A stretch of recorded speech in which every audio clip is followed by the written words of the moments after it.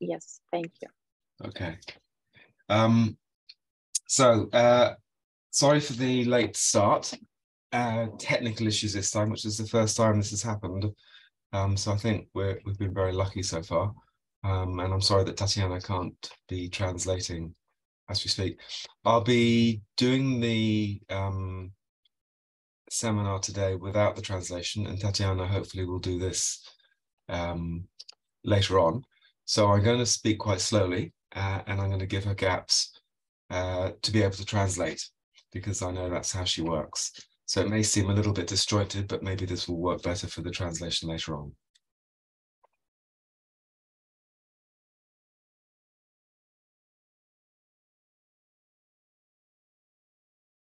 So we are going to be doing a deep dive today into what are called vascular pathologies of the neck.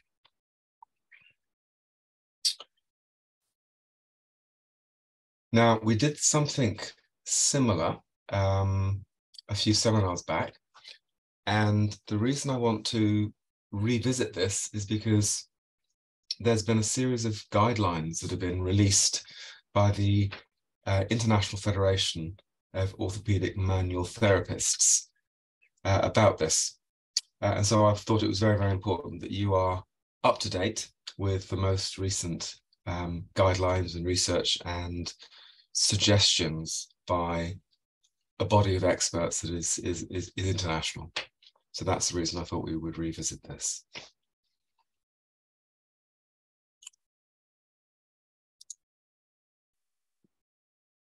So for those of you that were at my seminar when we talked about um, cranio, uh, sorry, cervical arterial disorders uh, and the relationship between osteopathy or manipulation and adverse events, you'll see that you may remember this particular slide, which has um, evidence of the impact of manipulation in some people, very, very rarely, that can result in effectively infarct um, of the brain.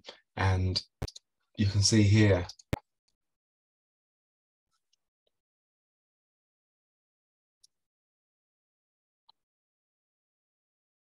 the hematoma, and this is in the internal carotid artery on the left-hand side. Um, and it's formed a thrombus. Um, so you can see here is the the dissection. It's, it's caused a thrombus uh, and it's led to damage, um, well, death, obviously, uh, and an infarct, stroke in the brain. Okay, and this was actually something that was a bilateral carotid artery dissection after cervical manipulation, and this took place in, in Belgium. Okay, so the challenge really is that these conditions are very rare, and I, and I will be going through the underlying statistics and, and case reports that we've got on these. Nonetheless, the consequences can be can be devastating. It, it, it can be the result of it, it can cause death. So we're left in this really difficult situation where these are very very rare. Consequently, the data around them and the the patient profiling to be able to predict these is quite difficult to access and yet, we need to be able to do the best possible job to stop us from missing people who are at risk of um, problems with arterial or vascular issues of the neck. That's the background really to the, the latest guidelines.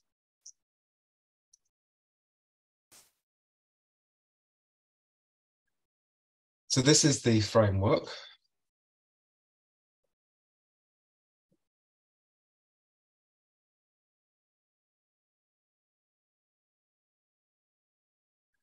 Um, we're going to go through the historic safety incidences. So in other words, what is there in the literature? Um, and we're going to try and go through what we understand now as being the most likely mechanism or the most likely underlying pathoanatomy that predisposes a person to problems with the arteries of the cervical spine.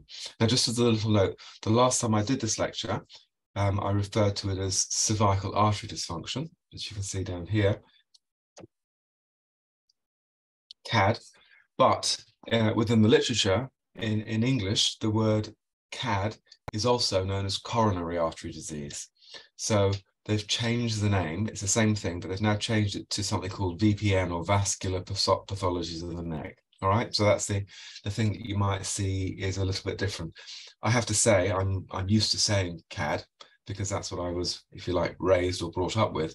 Um, so I might I might mistakenly say that, but but whenever I say CAD, I am talking about cervical artery dysfunction, but that is synonymous with vascular pathologies of the neck.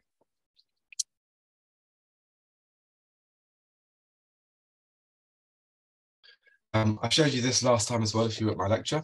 This was a, a, paper that was done back in 2010, so what are we now, 12 years ago. And it was written by a, a guy called Edzard Ernst, who was the professor of medicine in Peninsula Medical School in the UK. And he was the first UK's professor of complementary medicine. And his, his remit was to look at the effectiveness and safety of complementary and alternative medicines within the UK. Um, and as it turned out, he became quite critical um, of what he referred to as bogus claims or claims that were not were not true about what complementary and alternative medicine uh, said that they could treat or they could manage or conditions that they could cure. Um, and, and a particular profession that came under a lot of criticism was the chiropractic profession. Um, and I think I, I spoke last time about the number of quite well documented cases of people having suffered um, both uh, gross disability, but also death following chiropractic management of their particular case. There was one in, in, in Canada in particular that sparked a whole uh, a whole um, uh, conflict that, that went all the way up to uh, the, the, government. So Ernst did this, this study in 2010, uh, and he looked at the numbers of published cases that were associated with manipulation and the uh, the outcome being death. Okay, I want to just briefly show you these. in reality, he looked at um, numbers of incidents that were reported in the literature between 1934 and 2010, and he noticed that there were around about uh, 26 deaths, which means that's just under um, one death for every three years. So you can see how rare these incidences are, and and that's that's globally, yeah. So that's in all of the published literature. Um, one death every 2.9 years, to be absolutely precise. this is a, a, breakdown of those, and it's quite interesting to go through this. And again, I, I, have shown this last time, but if we do a little bit of a deeper dive into the data, um, you'll see that there's a trend that starts to emerge. Um, all of the areas that are highlighted in red are those that are thrombogenic. So in other words, there's been some sort of embolism that's been set off and that's lodged and caused uh, an infarct. Okay. Um, and what you'll see that part of those are also associated with dissections. So you can see in the blue, you've got dissections of the vertebral artery, you've got a vertebral artery aneurysm, which is very similar to the first slide that I showed you. Um, and even in here, hemorrhages in the ventricular system and cerebellar hemorrhages.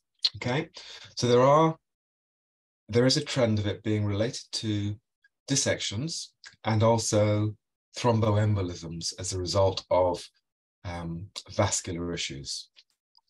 And of those, um, what's also very interesting is the time that it takes for the onset. So the it can it can range. Well, in fact, that's that's incorrect. You know, it, it, there's a, a, within one hour, um, we've got a problem in terms of the infarct of the brainstem.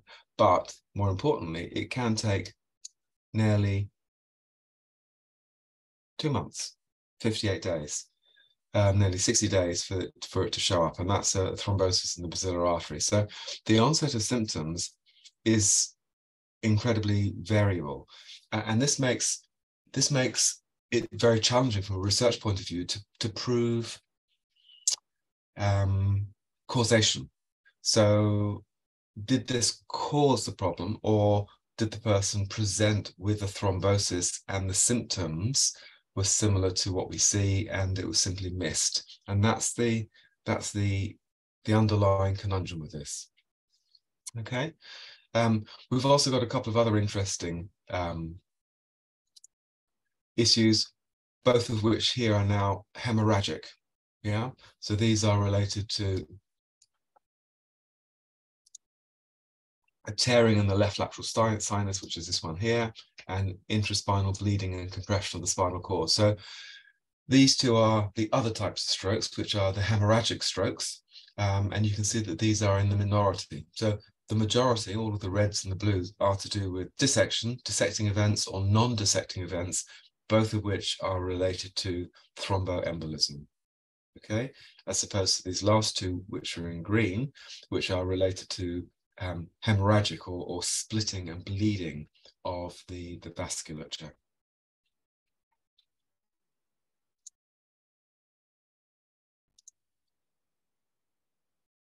And it's interesting that um, what Ernst said here is that it is it's you're able to, or there, there seems to be an association with people who have catastrophic effects following manipulation, and you can trace it back to the profession, which is very interesting. So you can see here in, in the paragraph that Ernst um, writes that the article summarized a total of 265 vascular accidents, 142 of which were linked to chiropractors, and another review of complications after neck manipulation published by 97 included 177, 32 of which were fatal. The vast majority of cases were associated with chiropractic and none with physiotherapy. And he goes on to speculate the most obvious explanation for the dominance of chiropractic is that chiropractors routinely employ high velocity, short lever thrusts on the upper spine with a rotational element, while the other healthcare professionals use them much more sparingly. So there does seem to be something about the, the manipulation um, and particularly the type of manipulation um, with this notion of high velocity. Um, and we're going to sort of talk a little bit about that later on because there seems to be some sort of relationship there which is worth exploring.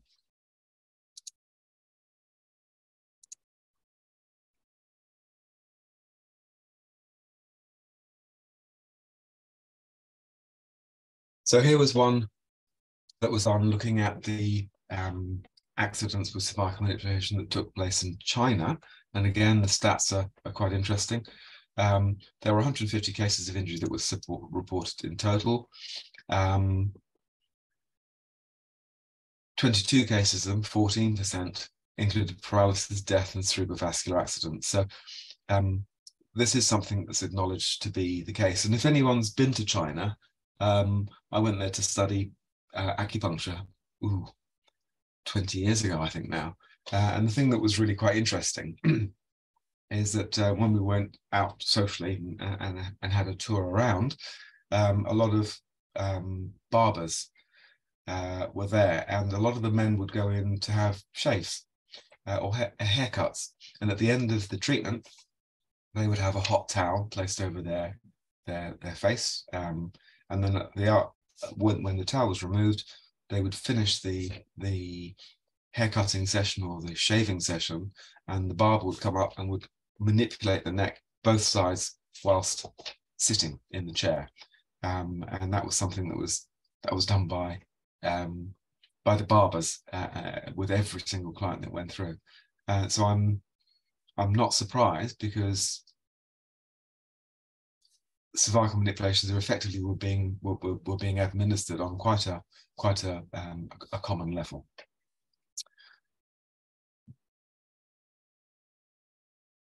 Okay, why is this a problem? Well, it seems to be that a lot of the symptoms that are associated with vascular um, problems of the neck will present practice masquerading as either neck pain or as headache. And unfortunately for us as practitioners, this is a very, very common presentation for patients that don't have vascular problems. So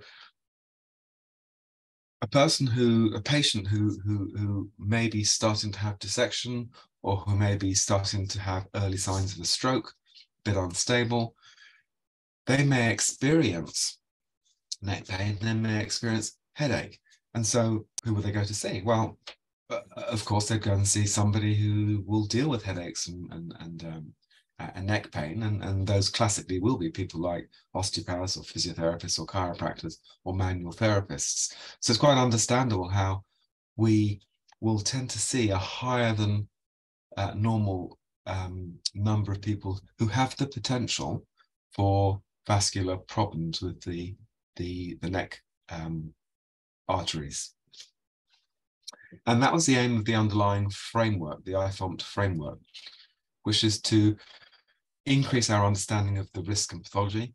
Uh, but the purpose for that is to improve safety for the patient uh, and also to make you more able to come to informed choices about when to refer on for um, ongoing investigations.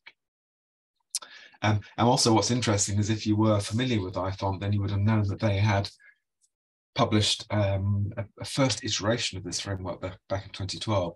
And, and what they've done is they've, they've revised it. Um, and that's, that's interesting as well. So it's effectively an update. How does it work? Well, the, the, the problem, as I said right at the beginning, is that the number of incidences of these are fleetingly rare, thank God, but they do occur. And, and the problem with that is that if they are so fleetingly rare, it's very, very difficult to prospectively or in advance um, design a, um, an ongoing study that will look for predictors uh, or outcomes related to this. So we rely very much on retrospective or backward looking um, case reports in the literature to be able to unpick how these things came along. So the literature is there, but it's it's very scarce and very thin because invariably it's done after the event took place. It's difficult to do it prospectively. And so the framework is based on what's known as a consensus document and a, a number of agreed experts in um, manual therapy plus experts in hematology plus experts in strokes came together to design uh, a very in-depth literature review. And the purpose of the frameworks are to blend the expert opinion with the literature to be able to provide a, um, a framework effectively to allow us to be able to um, come up with the most evidence informed method of practice in these difficult circumstances. Uh, and the final framework was appraised by an independent medical practitioner specializing in strokes, especially those related to, to, to, neck vasculature. So that's kind of the background to how this framework was developed. We're going to look at a number of sections. Um, is how the framework is laid out. They look at patient history, they look at physical examination, they look at the risks and benefits of osteopathic manipulative therapy. Okay, so by way of background, as I said, a lot of the problems with um, neck vascular problems is that they will present or patients will experience symptoms of classical musculoskeletal neck pain and classic musculoskeletal headaches. So if you look at the lifetime prevalence of neck, 70% of the general population are at some stage in their lifetime going to experience neck pain okay? And on a, on a, a yearly um, prevalence rate, we're looking at 30% of the population out there right now who are experiencing neck pain, okay? And if we dig deeper, of those, 14% will have neck pain that is chronic. In other words, it, it, it exists more than six months. So that's the neck pain background in which our um, vascular problems of the neck are embedded within. let's look at headache stats. And this is from the International Headache Society. So migraine, these are the three common ones. We've got migraine, tension type headaches, and cervicogenic headaches. Now migraine, um, this is known as the, I was quite surprised by this. This is the leading cause of disability in under 50 year olds, and it affects 1 billion people worldwide. There is a gender split. It's a, a three to one female to male ratio. So this, this is something that is quite common. It presents with a one-sided headache. And as we'll see later on, it's, it's very, it, is a risk factor simply because it's very similar to problems that arise from the, the, uh, the neck vasculature. The second type of headache is what's known as a tension type headache. Um, uh, and this is regarded as the most prevalent neurological condition. Uh, and again, there's about 2 billion people worldwide that are thought to be um, suffering from tension type headaches. It's the second most common chronic disease globally. So that's two to two to three percent of, of the world's population will be suffering from tension type headaches. And there's not so much of a gender split here. There's there's, there's slightly more um, females that are affected compared with males. And then finally, we've got the, the cervicogenic headaches. Now this is this is technically a secondary headache. The first two, the migraines and the tension types, are referred to as primary headaches. The cervicogenic, as the name implies, the genesis is in the cervical spine. So effectively, a cervicogenic headache is a secondary headache that's coming from nociceptive activation of structures in or around the cervical spine, typically uh, in the upper cervicals, because that's what refers up into the base of the neck. The estimated incidence here is around about 2.2% of the, of, the, of the population. So you can see that headaches really are very common, yeah, whether they be migraine, tension type, or cervicogenic.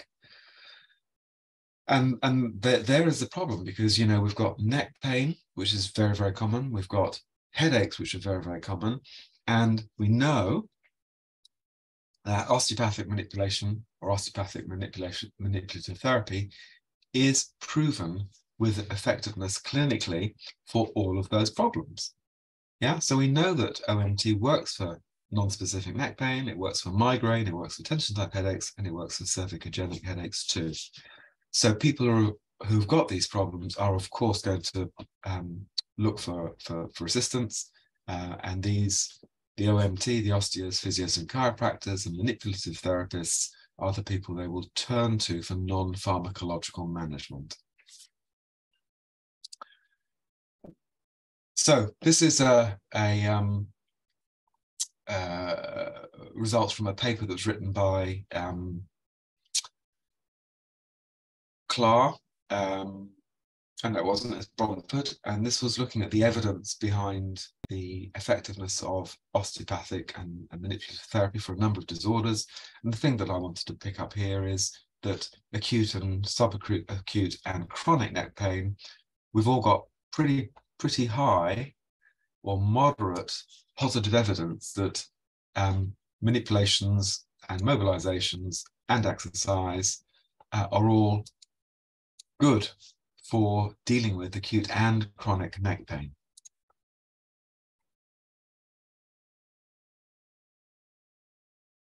What about headaches? Same thing. What we've got is migraines, cervicogenic, and the tension type headaches, a little bit unclear at that time. But recently, there's been a number of updates. This is done in 2004. Uh, six years later, there were some more updates. Um, there was these are the, the data that were up, updated in the evidence report. Uh, and what that did was it created a change to the recommendations. And you'll remember that previously the findings for tension type headache was inconclusive. However, when Clar did the upgrade, after looking at these, what they found was that there were some changes uh, which shifted the evidence from being inconclusive to now being moderate. And those were spinal mobilizations for cervicogenic headaches, mobilizations for miscellaneous headaches, and within the miscellaneous headaches was tension type headaches. Um, the other one, which we're not particularly interested in um, for today's topic, is that there was also um, it, it, shifted the the notion that manipulation and mobilization with exercise for rotator cuff disorders now had um, moderate quality evidence to support the use of manual therapy in addition to exercise for rotator cuff. As I said, that's aside. So these are the two things that changed in 2010 is that there, there is now evidence, moderate evidence, that the effect size of manual therapy for all the headaches is moderate, it's, is good, it's there. So this is part of the background for why people with these problems will often seek out manual therapy, including osteopathy. Um, and in so doing, uh, bearing in mind the overlap, the masquerading of vascular pathologies of the necks, we have to be careful that we're able to do our best to, to tease out, to find those people that are at risk hidden within that huge, great um, prevalence of non-specific and innocent, benign um, neck pain and headaches.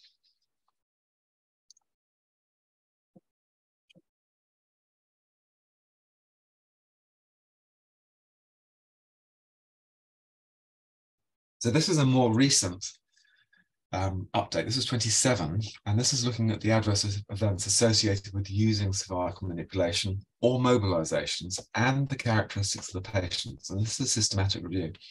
And this was part of the one of the core texts that the, the framework um, was formulated upon. So I want to just present to you um, the, the data from the, this particular paper because I think it makes for interesting reading.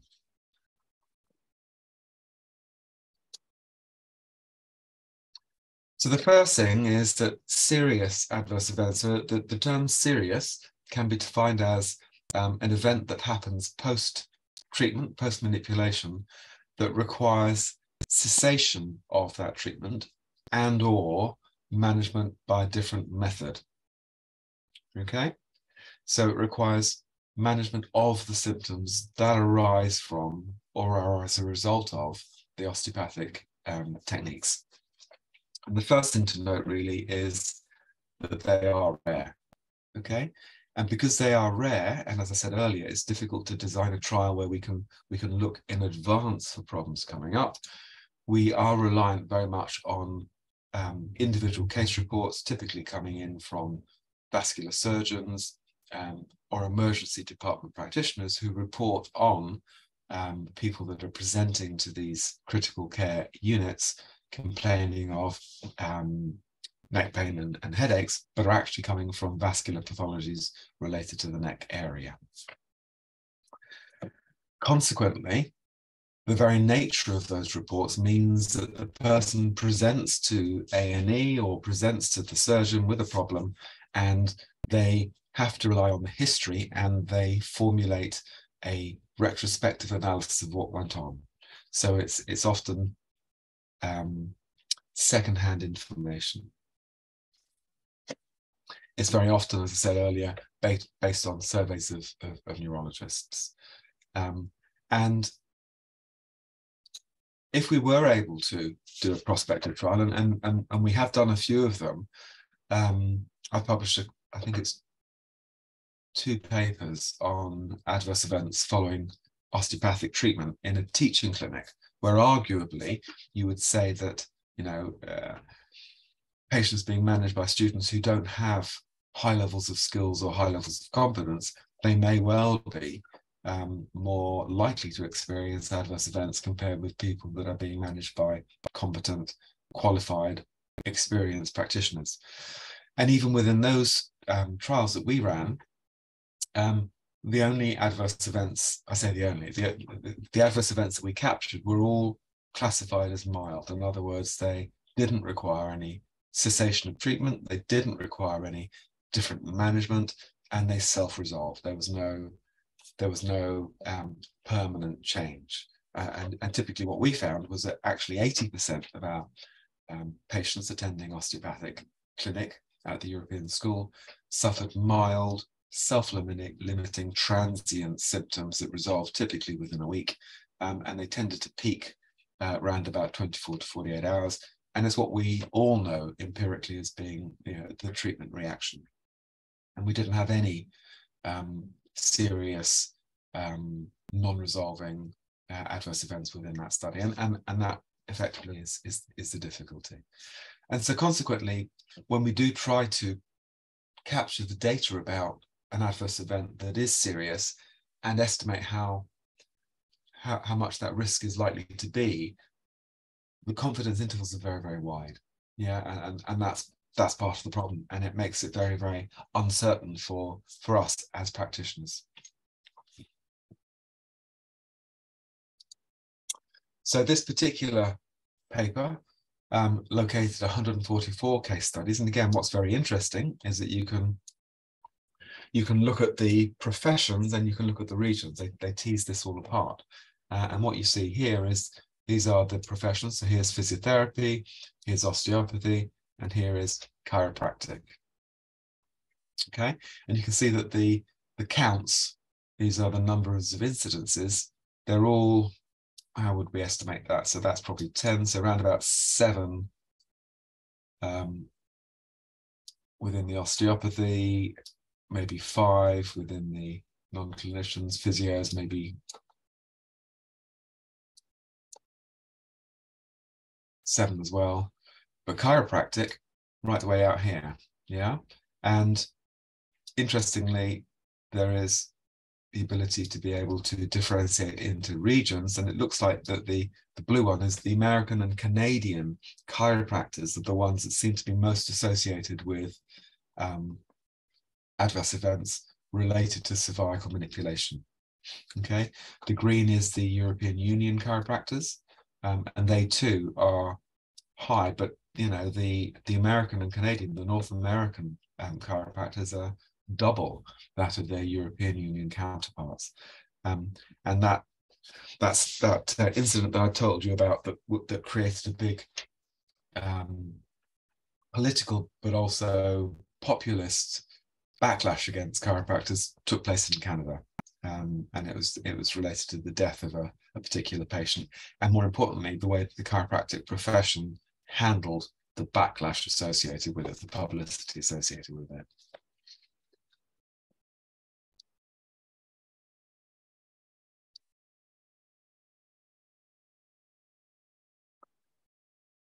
So again, if we look at the types of adverse events, and this is now differentiated according to gender, again, what we can see, as you started to probably realize, is that the biggest cause are dissection events. Okay. Um, and again, you can see that there's almost twice the amount of incidences of females compared with males. So the light the light gray is females and the dark gray is males. Okay, so these are dissection events, and VA stands for vertebral artery. Um, here's another one, dissection events of the internal carotid. Okay, thrombus, dissections, dissections, dissections. All right, so hidden within this is, is a lot of issues related to vascular problems. Okay.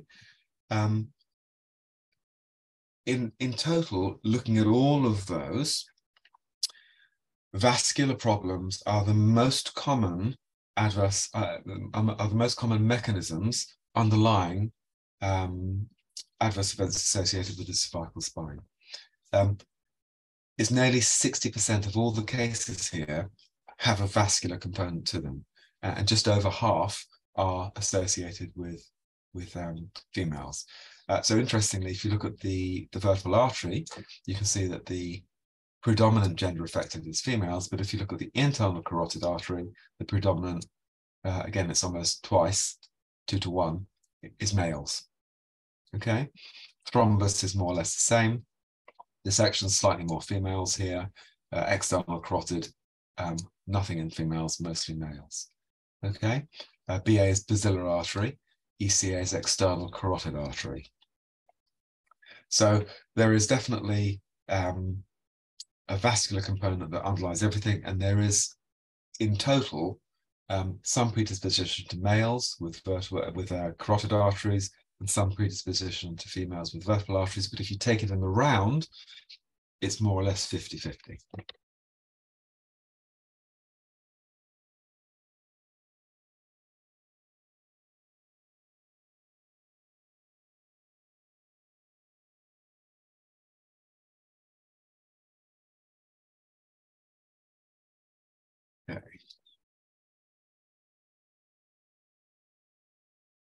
And these are the, it's a frequency table. It's not a risk table, it's a frequency table of the signs and symptoms um, that people who've had adverse events, serious adverse events after spinal manipulation complain of.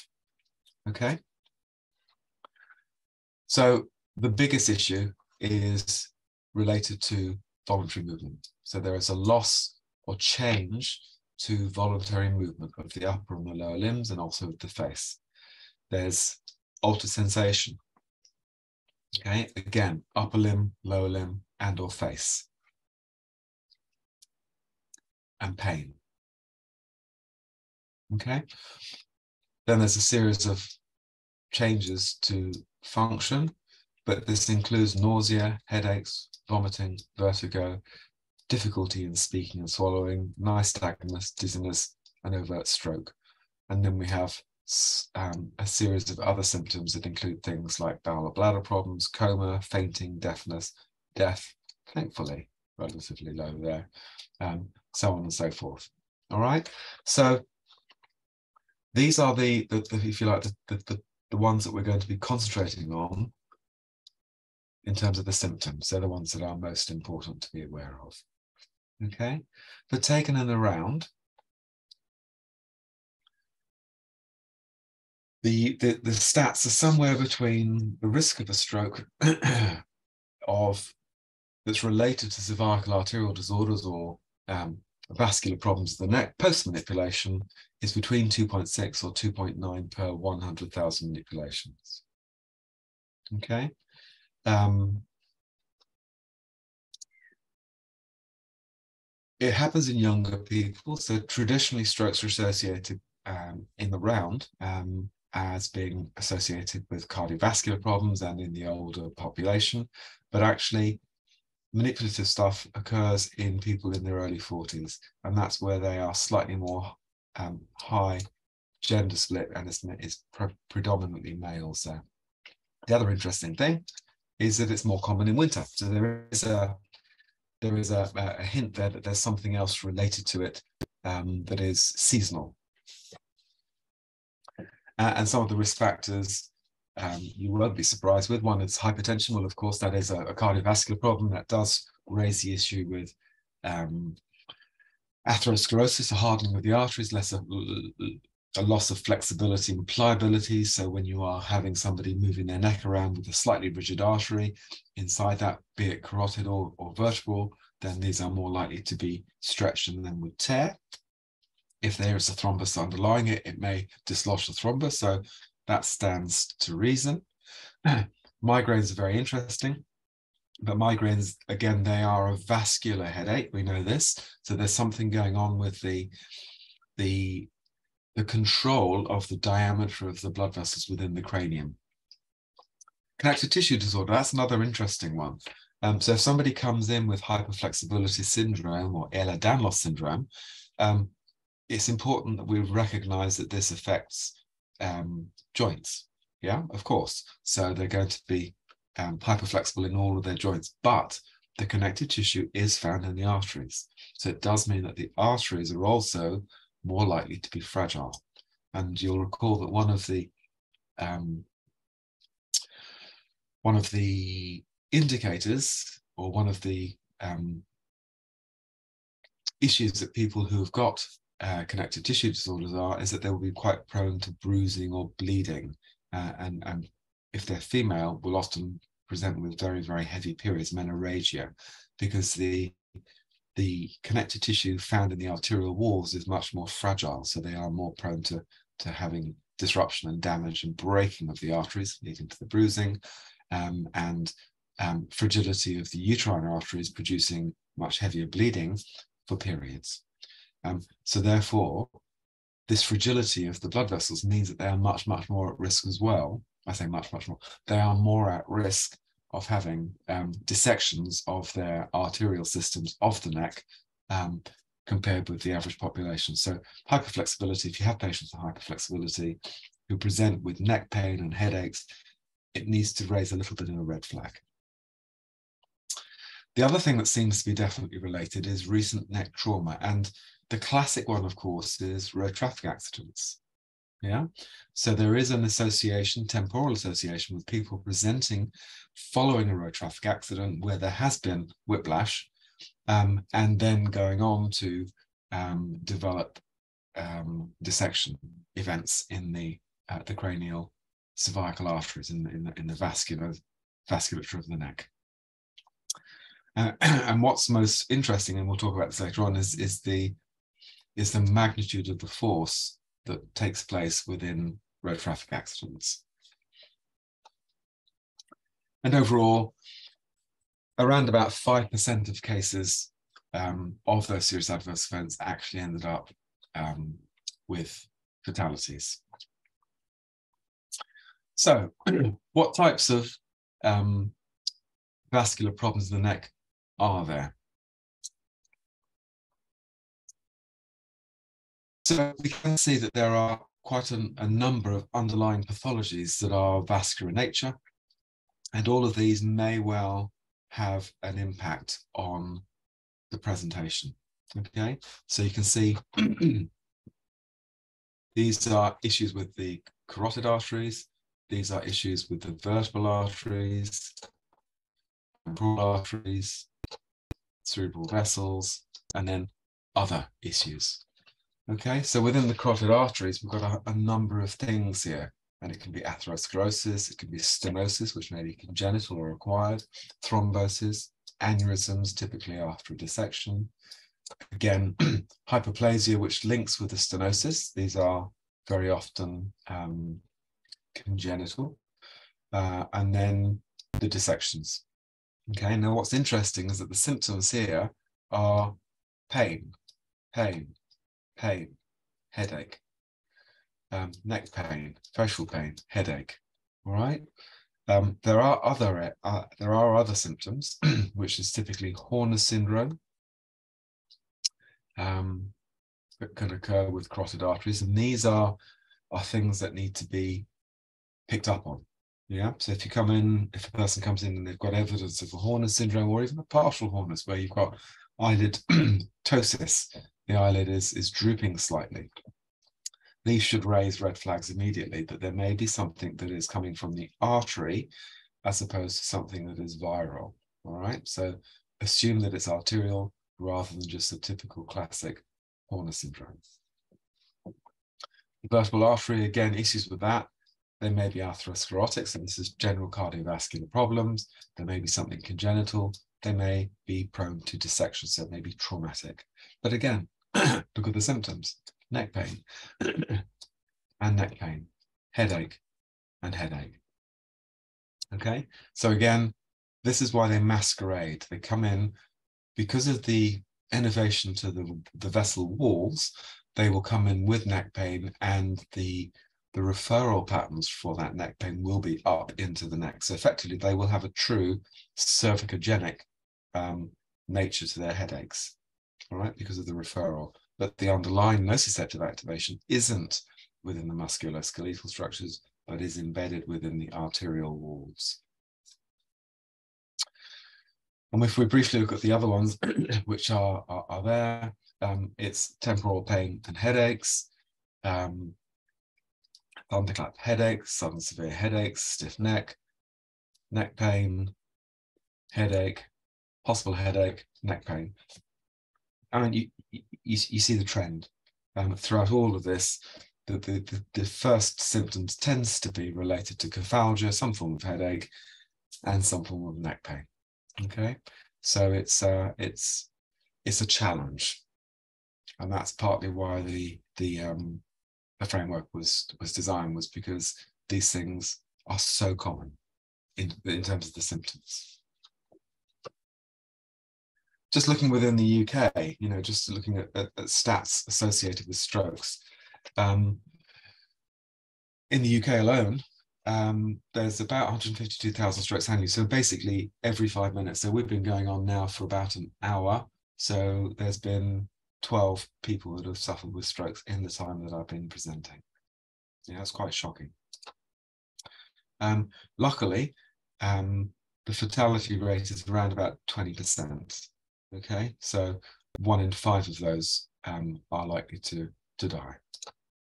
Um, most of them are ischemic or clot related, and the, the minority are the hemorrhagic or the bleed related. And it's, it's these ones that we are particularly interested in.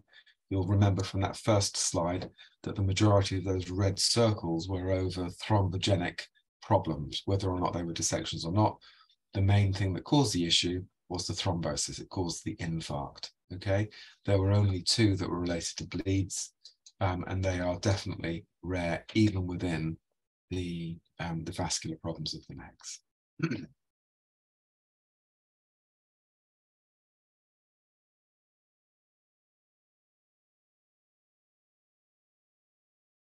of those strokes, um, it's reckoned that about 2% of ischemic strokes, so of this lot here, only about 2% are, there's the old word, coron, uh, cervical artery um, dissections.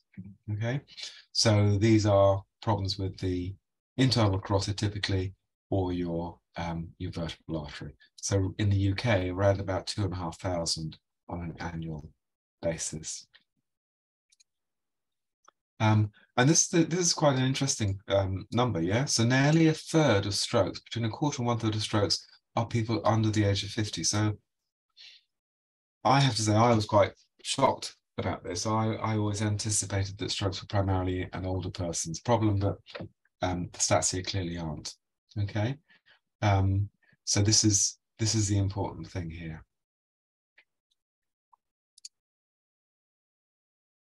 Uh, this is quite um, optimistic too. So of these 2%, only 5% of these result in death. So around about 129 a year. So, so although 20% of normal strokes are fatal, it's only 5% of those that are related to, to um, cervical arterial disease.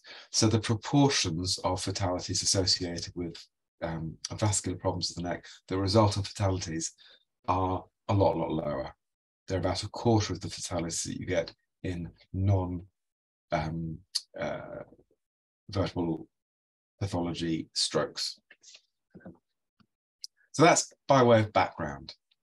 So what does the framework have to say on the matter? So what they say is that you can go through a framework which you know you'll do with every person, but it's important just to be aware of specifically looking for data within the patient's history, you need to plan the physical examination because the problem is, of course, that some tests that maybe we got taught, and certainly I got taught, might be contraindicated.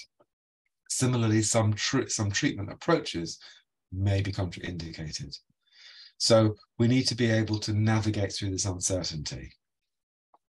We then need to conduct the physical examination and we need to be able to, to, to, to, to balance um, and interpret the data from our physical examination, knowing that the examinations aren't that sensitive or are not that specific. So it still leaves us with uncertainty. Okay.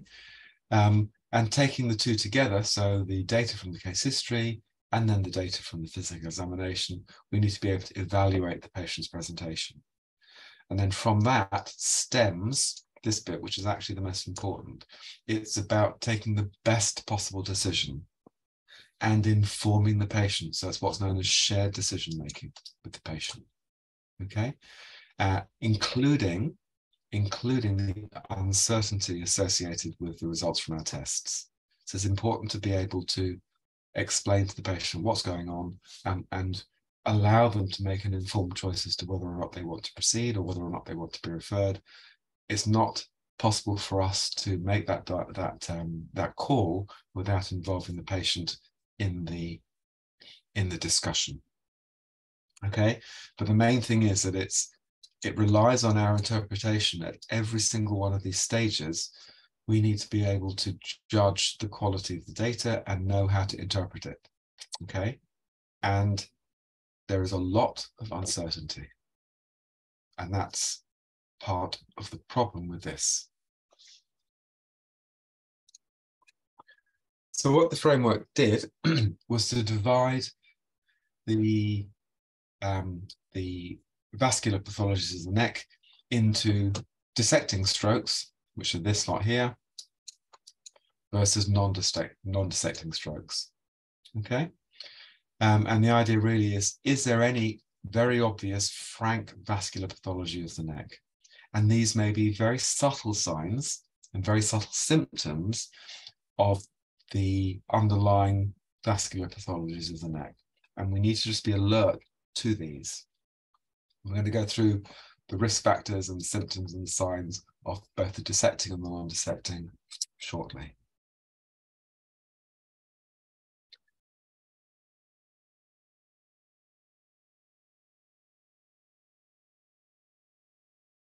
So what we need to consider when we're taking our case history and when we're doing our examination is, is there any evidence of subtle signs that might indicate that there is an underlying obvious pathology of the vasculature of the neck. Okay, and the, the, the challenge for us is that we need to recognize that there isn't one single factor that is causally related to any of these problems. Okay, and that there is this general consensus that there are a number of issues that together raise the index of suspicion. Yeah, but I say again, there is not one particular thing that we can we can definitely say will result in a reliable indicator that this person has a frank pathology or is at risk from having a problem with their, their um, cervical arteries during or following our osteopathic treatment. That doesn't exist. Yeah. And that's very destabilizing and very anxiety provoking. And that's normal for us. Okay. And, and I have no answers for you on that. I want to say that at this point. Okay.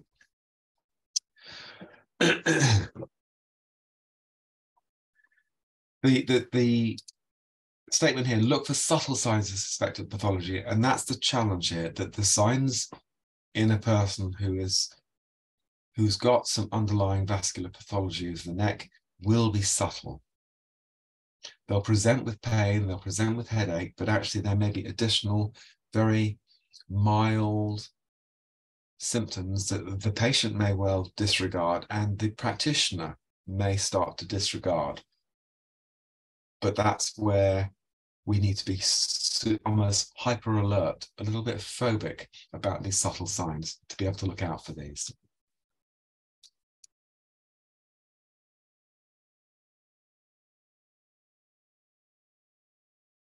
within the case history, we need to say, look, are there any predispositions? Are there any factors here that would, again, just raise our, our index of suspicion that there may be something going on there?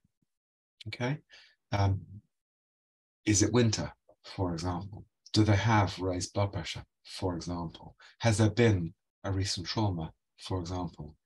Okay, so these are the things that we're going to look at now is what are some of the factors that might be related to dissecting vascular events? And then we'll look at some of the factors that might be related to non-dissecting events too.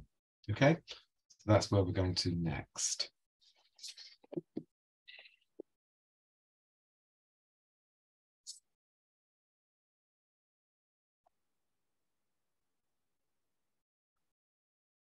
So as I said um, previously, one of the things that we need to look out for is if there's been a dissecting event, in other words, if the, the connective tissue within the, the artery has been torn, if it's fragile, then logically, um, one of the, the things that will tear it or create um, the risk of tearing is, is, is some form of stress, some form of trauma. And so therefore, it's of no surprise that anywhere between 40 and 64% of cases um, of dissection events will be associated with recent trauma. Okay. Um,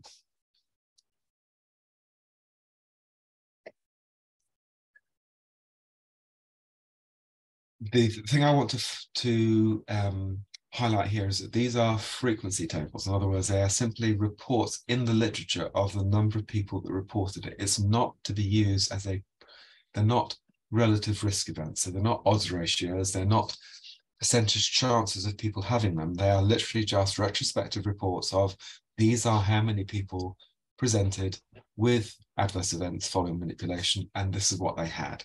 Okay, so it's literally about data that is there from a retrospective analysis that may assist us as practitioners moving forward, but it's important not to use these as as weightings um, or predicting events. Okay, so I want to say that, and I'll probably repeat that a few more times. So trauma does seem to be something that's been associated with people presenting. Okay.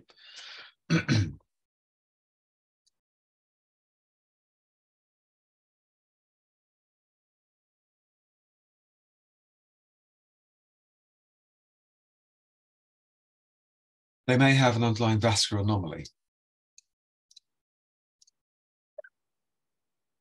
Um, that being the case, they may have some sort of stenosis, they may have some sort of connective tissue disorder underlying that.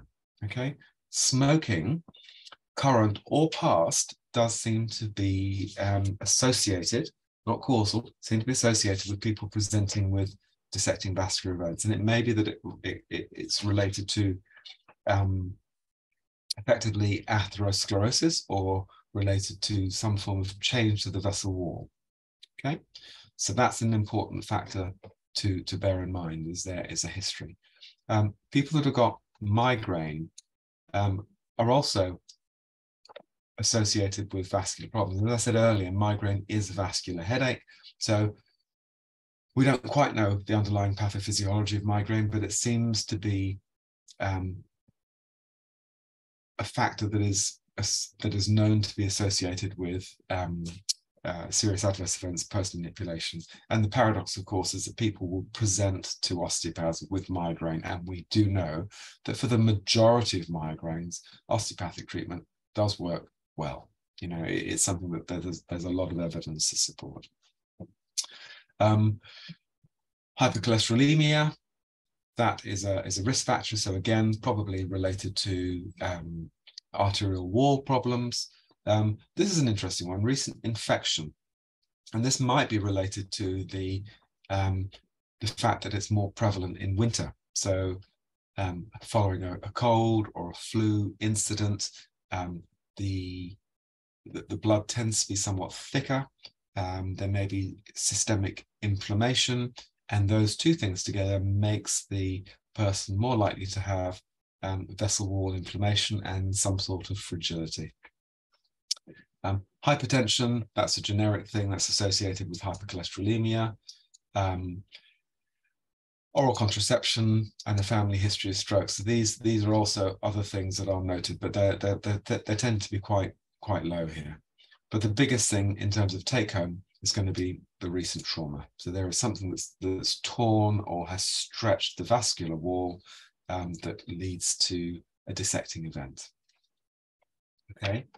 Um, it is important at this stage to say that, that, that, we do know that we can get spontaneous um, carotid and spontaneous vertebral artery dissections. And, and unfortunately, um, there is no prediction there. Yeah, it's not associated with trauma. It's not associated with migraine.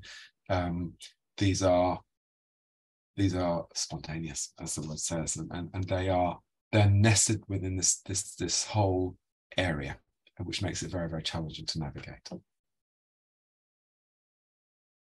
Yeah. So the take home is if your patient comes in with none of these, yeah, the fact that we have something called a spontaneous um, dissection means that the absence of symptoms does not guarantee safety. Really challenging, eh? Okay, non-dissection vascular events. So this is this is interesting. So this is where we move away from the idea of the, the dissection being the primary cause, but a person is more prone to having a thromboembolism that's related to the vasculature of the neck. And here we see much more systemic or, or generic um, risk factors. So again, smoking right up there, yeah? Anywhere between 60 to 75%, three quarters of people are, again, current or past smokers. So the past smokers are really, really important too. So the only ones that we are, if you like, happiest with are never smokers. Raised blood pressure, we know this. Hypercholesterolemia, again, we know this. And here again, the migraine and the vascular anomalies and the family histories and the oral contraceptives and the recent infections. And there we go, mild trauma. Okay. So we see here that the the um, the role of trauma is still there, but it's it's reversed compared with the dissecting events. With the dissecting events that we saw previously, quickly go back there. It's trauma. It's the top thing, yeah, up to sixty percent. But with the non-dissecting events, it's actually the lowest risk. It's the lowest event. All right, and it's this. It's the systemic lifestyle problems that are actually raising raising the, the frequency here. Okay.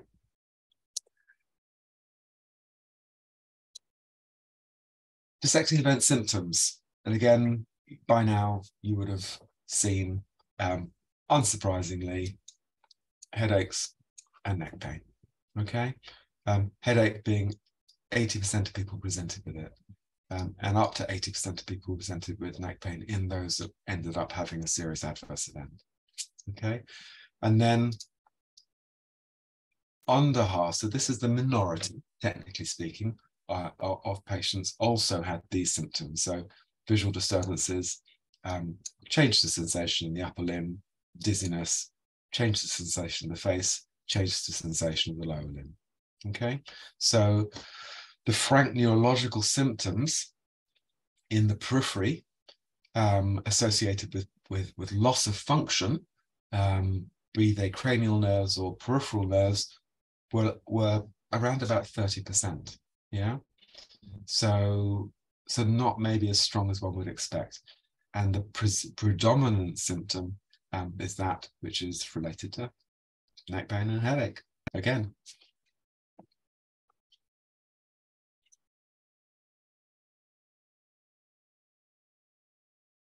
If you split the dissecting events into those that are vertebral artery versus dissecting events associated with the internal carotid, we can kind of unpick that a little bit.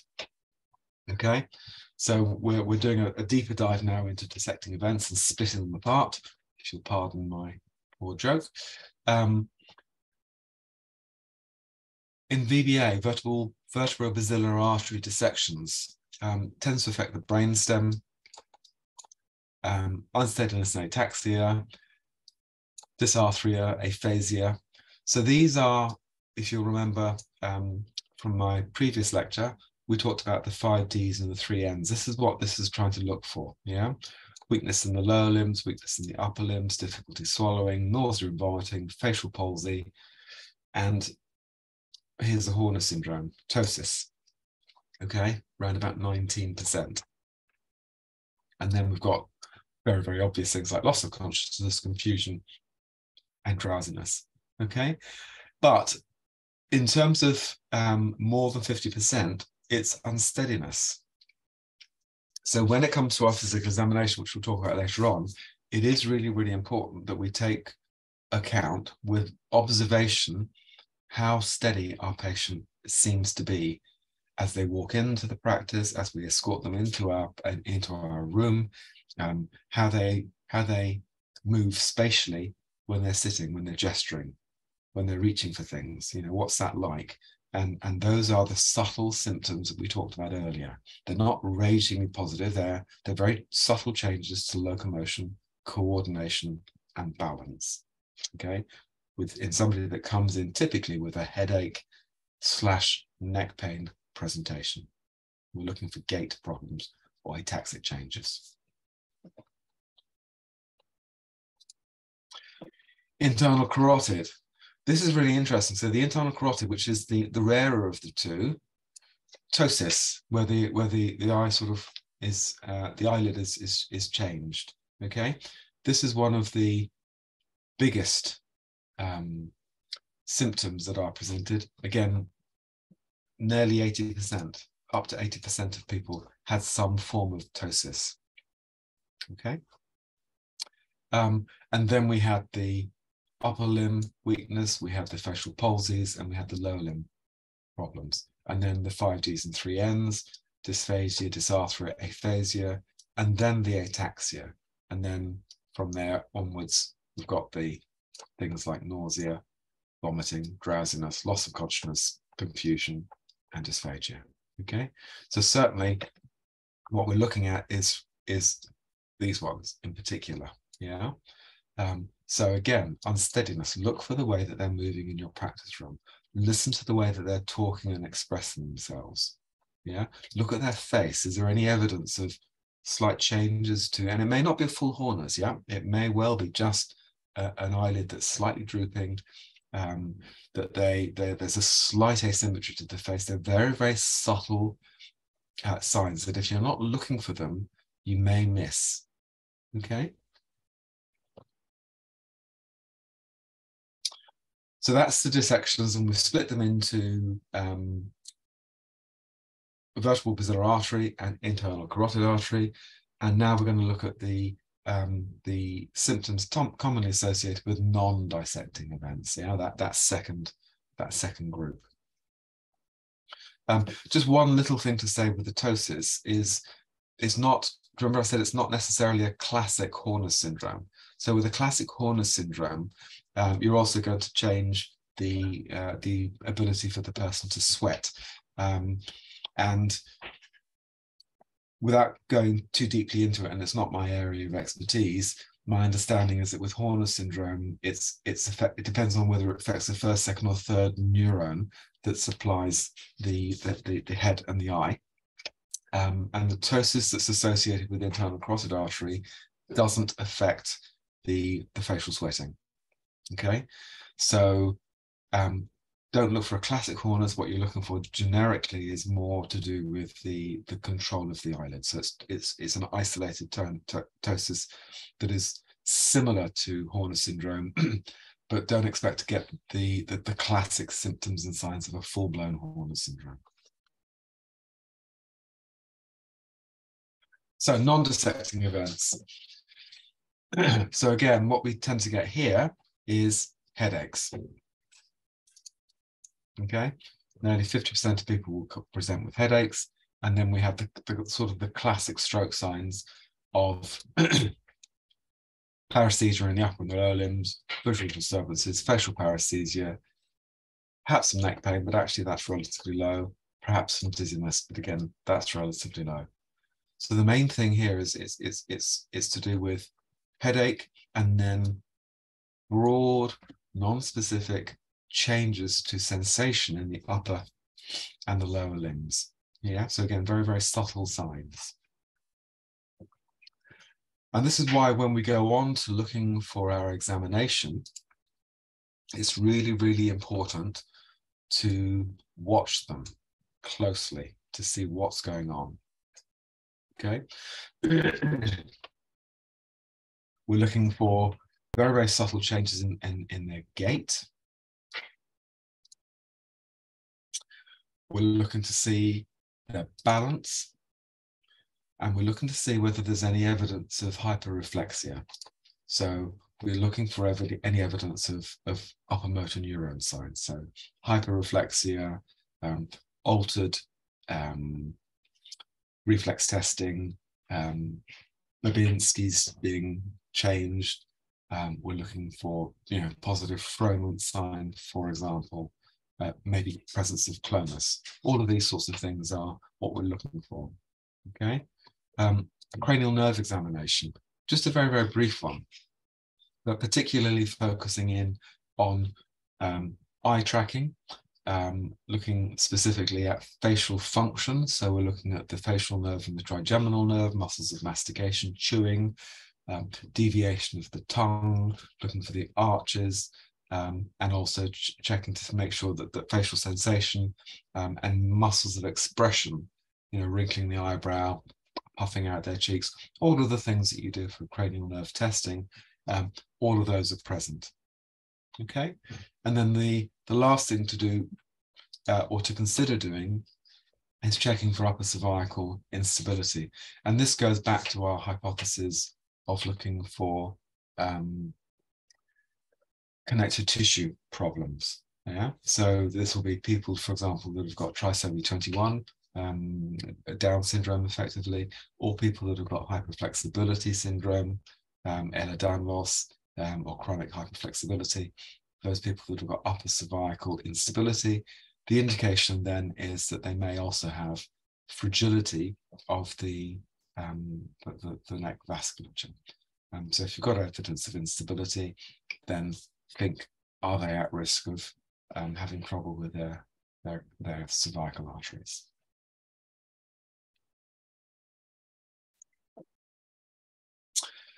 Okay, so Sophia, I don't know if you can hear me.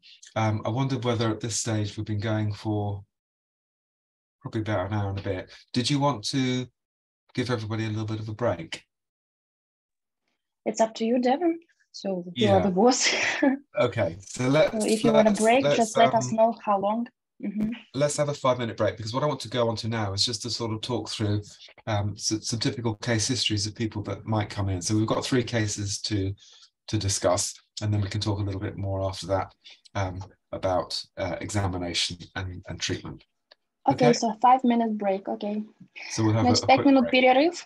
Да, после перерыва у Девона три, три истории болезни пройдется по ним, поэтому отдыхаем пять минут, возвращаемся через пять минут. Всем хорошего отдыха.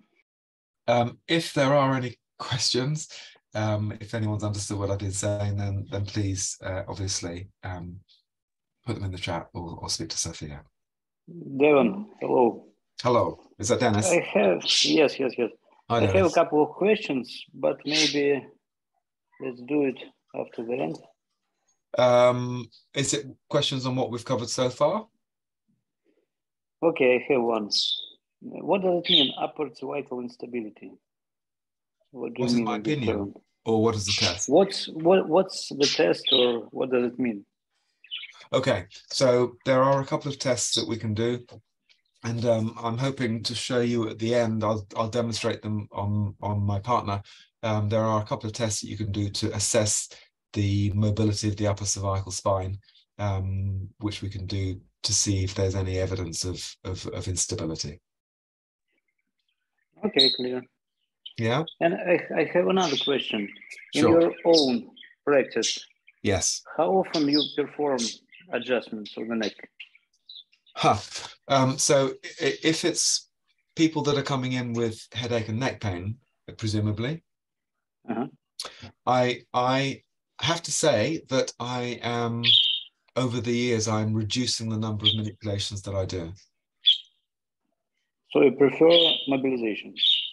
No, I'm I'm also reducing those too. So so the important thing to say here um, is that the, the, the predisposition to vascular problems of the neck um, means that it's not just manipulation that's the problem. Um, it's often associated with mobilizations um, and even exercise. So rotation uh, and, and, and, and forcible mo mobilization in rotation would be just as potentially a problem if the vascular supply is is compromised. So it's it, although we've talked about cervical manipulation, the manipulation involves the rotation, and we'll talk a little bit later on. But um, I think mobilizations are also potentially still as dangerous. Okay, clear. Uh, okay. What about investigations? Yeah. MRI, for example. So again, we'll, we'll talk about that at the end um, in okay, terms of the okay. gold standards for for assessing these things. Okay, good. Okay. Let's go break. Yeah. All right, let's have a break.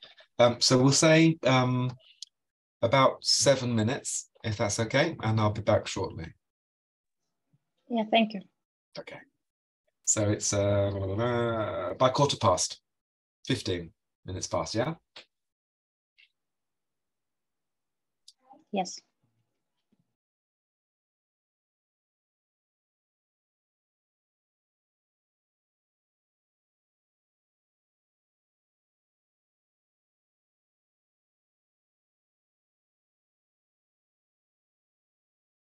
Hi, Sophia, can you hear me?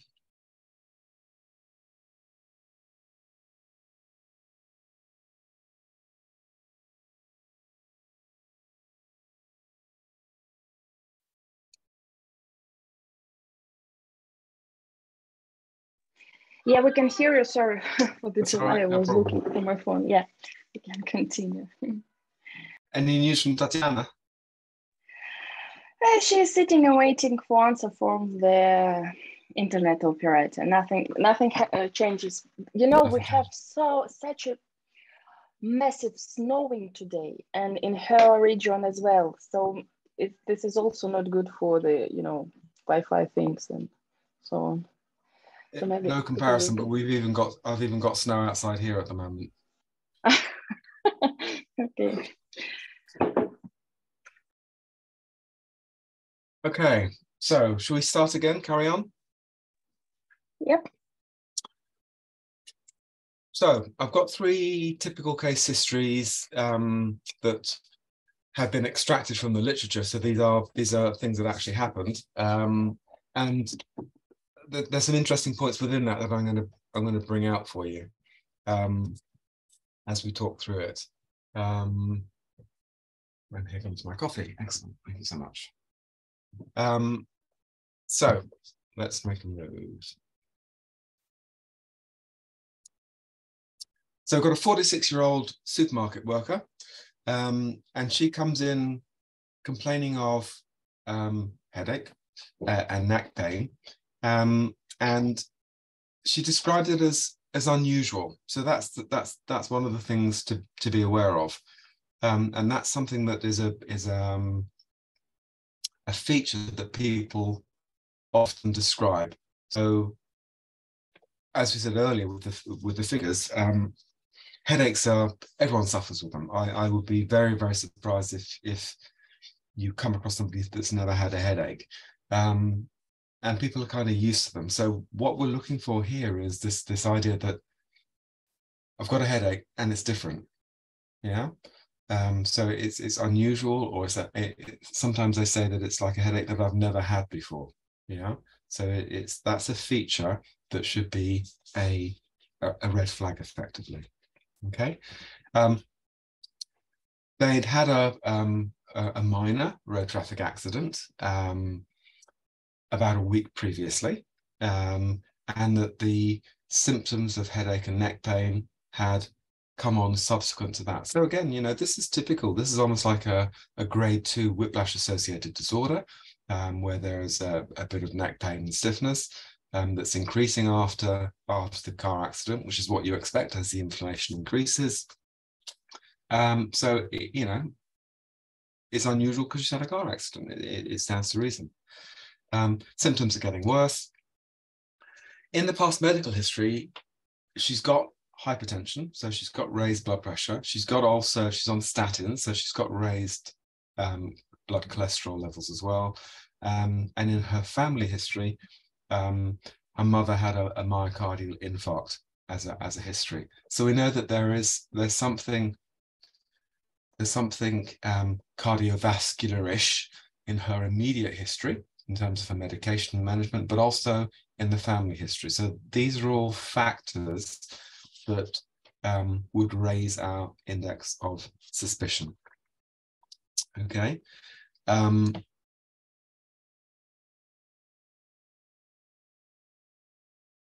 when we did our examination, we find there is a reduction in cranial nerves 8, 9, and 10. So she had slight changes to her hearing. Um, there was a little bit of uh, loss of, of, of, of, of, hearing on one side. Um, her swallowing and her speaking was slightly hoarse. Um, she felt a little bit sick. Um, her shoulder and neck movement was a bit restricted, but again, she came in post RTA. Her blood pressure was a little bit high. And she had a number of other symptoms as well. She felt sick. Um, as I said, her, her voice is a little bit hoarse, and she complains of being dizzy and nauseous. Okay, so these are some of the, the subtle changes that are in the background um, that it's important to pick up upon. Yeah, so these aren't what you typically expect with a, a traditional grade two whiplash associated disorder. There are something else that's in there. But the problem, of course, is that, you know, if you've had a car accident, and I certainly had if I've had a car accident, you do feel a little bit sick. You, you know, when the head goes back, you might get a little bit of laryngeal strain and you might feel a bit dizzy. Um, so all of these could very easily be explained by physical trauma to the muscular skeletal structures. Yeah. Um, and we may not be thinking this is a vascular structure that's also been affected. Okay. Um, in this particular case, they don't say what happened, but whether or not the person was treated. But two days later, they represent there's increased nausea. They're now getting um, problems with their balance, so their gait's being affected, and they're having overt difficulties now swallowing and speaking. Okay, so these indicate a, um, a, a, a trajectory of worsening symptoms that are now becoming much, much more um, brainstem related. Um, and of course, even now, raise further the incidence of suspicion that there may be something going on that's that's beyond just plain straightforward musculoskeletal problems. Okay, so effectively, there's a typical background for vascular risk factors with classic distribution for vertebral artery somatic pain, which is worsening. Okay, so there's the trauma, there's high blood pressure, there's hypercholesterolemia, there's a history of MI in the family. Um, she's got neck pain. She's starting to get trouble with walking and movement. She has uh, difficulty swallowing, and there's changes to her voice, and it's worsening. Okay, so these are all things that that we should be um, hyper alert to. Okay.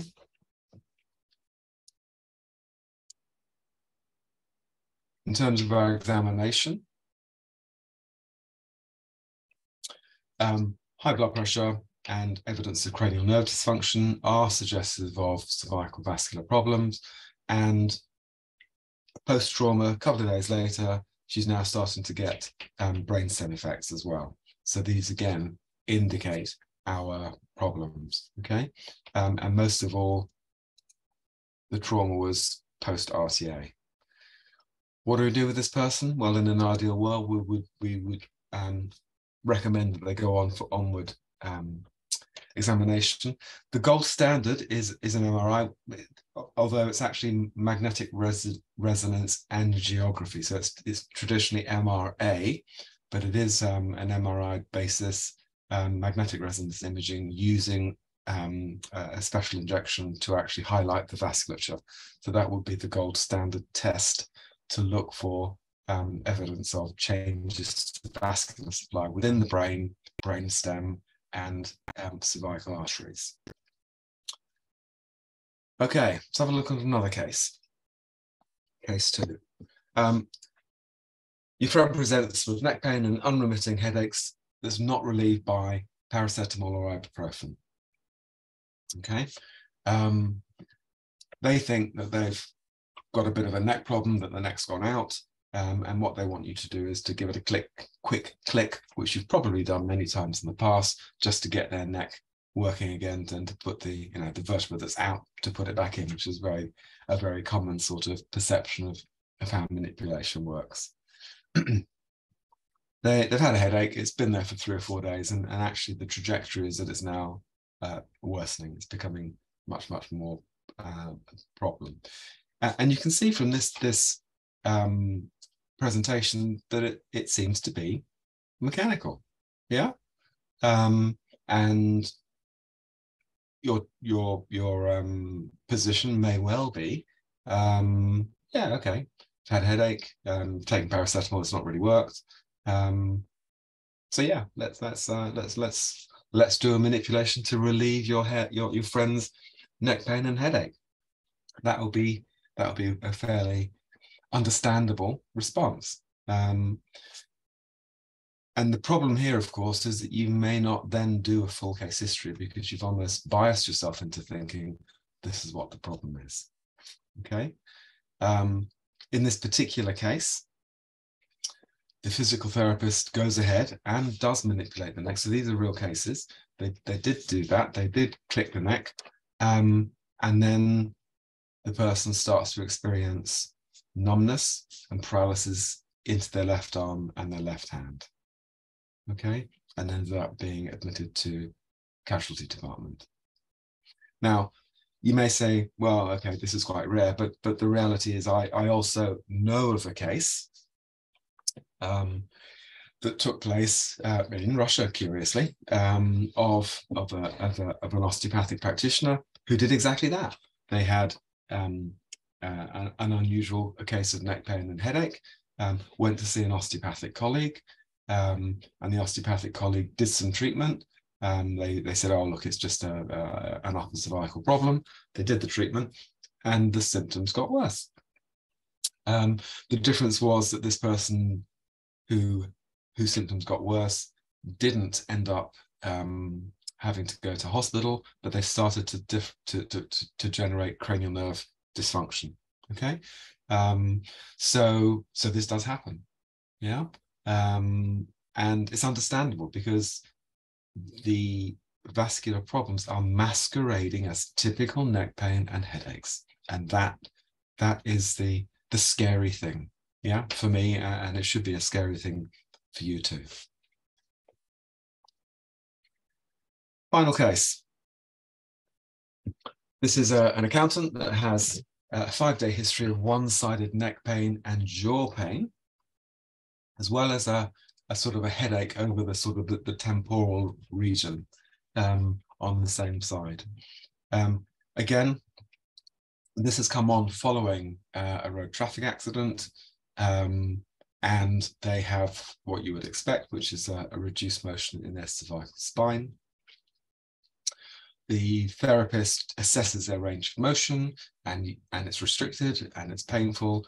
Um, and the therapist advises that they start doing some range of motion exercises. Okay, so diagnosis um, would have been again a grade two whiplash associated disorder um, and they didn't manipulate here, they just started doing some mobilizations, um, advises the patient to start doing some gentle exercises to increase the range of motion.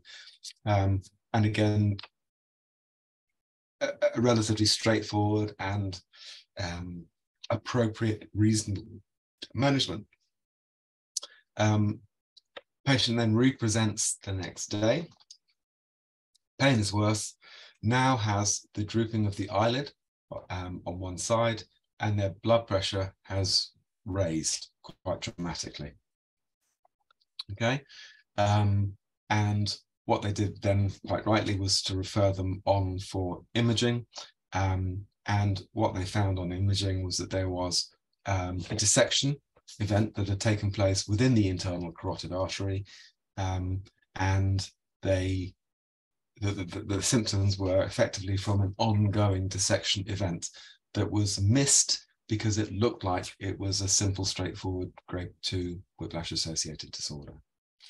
Okay. Um, the, the main thing here is that there were no other factors that would raise your degree of suspicion other than the fact that it was come on after a road traffic accident. Yeah. Um, other than that, everything else was was negative. And that goes to my point that I made earlier, which is just because you don't have those symptoms doesn't mean that you can rule out a dissecting event. And it's it's really, really difficult. Yeah. There may be spontaneous events that have no risk factors. They're utterly unpredictable and they will just explode. um, when you are when you're managing them.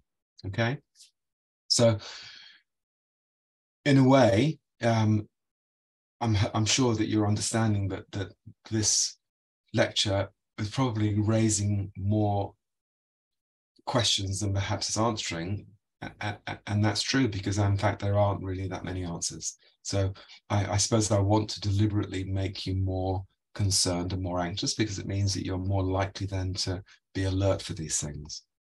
Yeah? And that there isn't a predictable guaranteed um, reliable way of making a decision. You are dealing with uncertainty. And that's the fact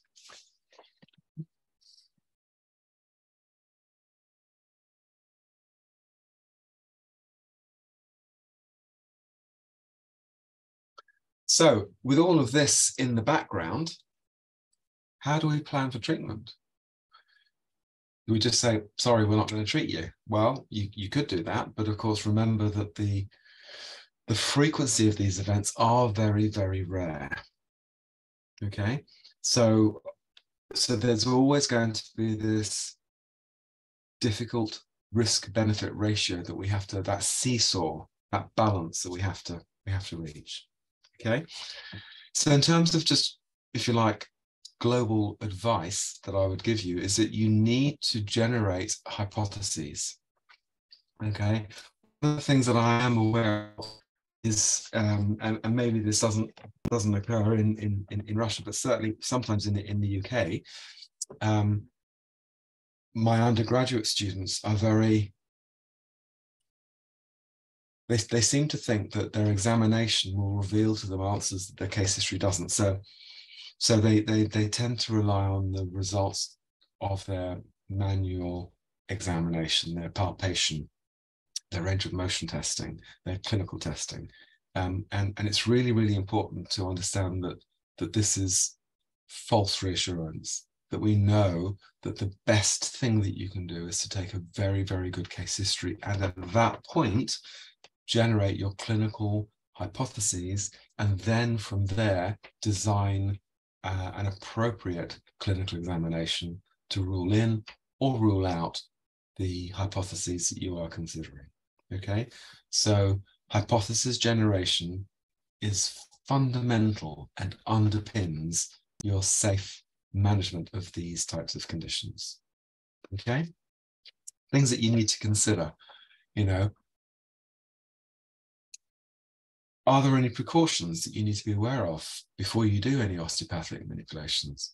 Are there any contraindications to osteopathic manipulative treatment? What tests are you going to include or even exclude because you may feel that they are risky? Because even with a test, the majority of our tests, if you think about them, um, are provocative. They're designed to stress an area in order to generate a result. And when they do generate the result, we can go, oh, that area is being stressed. It's vulnerable. But of course, do you want to do you want to deliberately provoke a dissecting event? Do you deliberately want to stretch that to see whether it increases the pain? Well, of course you don't, because it carries a risk. So it's important to understand that even an examination will carry a risk associated with it it will it will carry a benefit, but it also carries a risk. And it's about that uncertainty um, when you are designing your investigations, your examination routine with that particular patient as to how you manage this. What's the priority? How do we make decisions about what to do, what not to do? How do we how do we engage the patient? How do we inform the patient about what we're concerning, uh, what we're considering, um, and and how do we order our examination, and and do we have to adopt the way that we do our tests in order to make sure that we minimize risks and maximize the benefits. So these are all things that that we need to think about prior to not only planning treatment but also planning our examination. Okay. So the guide uh, the, the framework has come up with this um, algorithm here. Um, and they've made two points here, which I want to, to, to, highlight. First of all, no single test alone will provide decision-making information. So you can't rely on a single gold standard test. It doesn't exist, okay? The other interesting thing is that positional testing is unlikely to influence decision-making. So you won't be able to get anything just by doing positional testing. All right? The most important thing is clinical suspicion of vascular causes is supported by reasoned historical and or clinical examination findings. And if anything flags up at that point, your, your route to management is to refer for further investigations, vascular investigations. Okay, if there's nothing that flags up, then the next question is, well, are there any precautions or actual contraindications to physical examination? And if the answer is no, then you can go on to do your physical examination.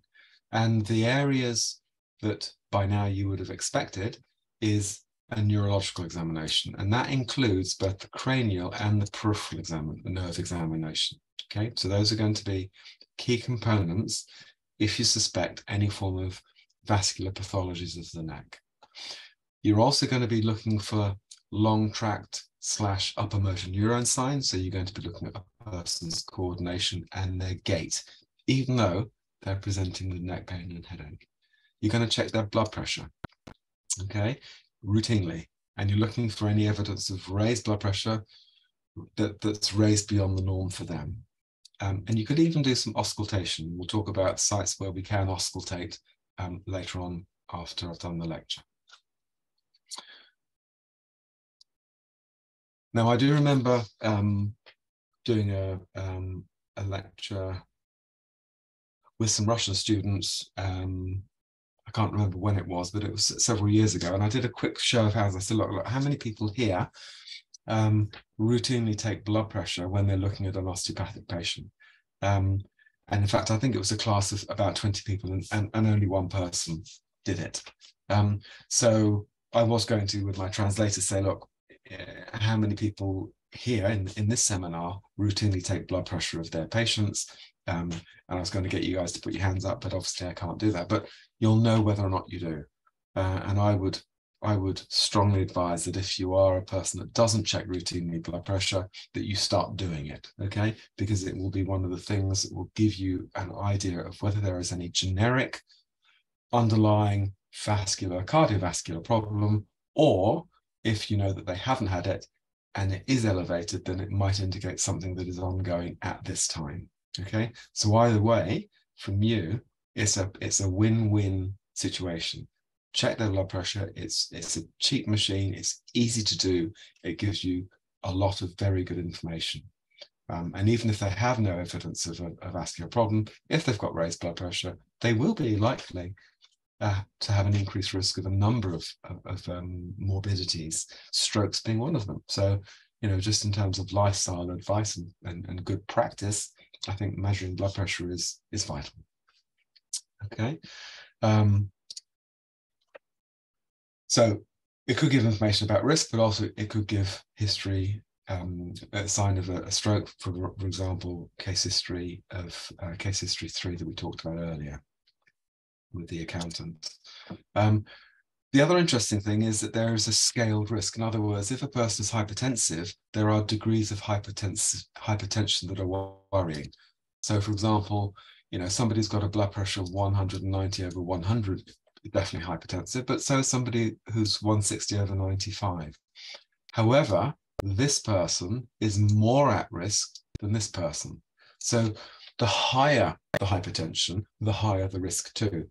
So it's no good just saying, are you normotensive or hypertensive?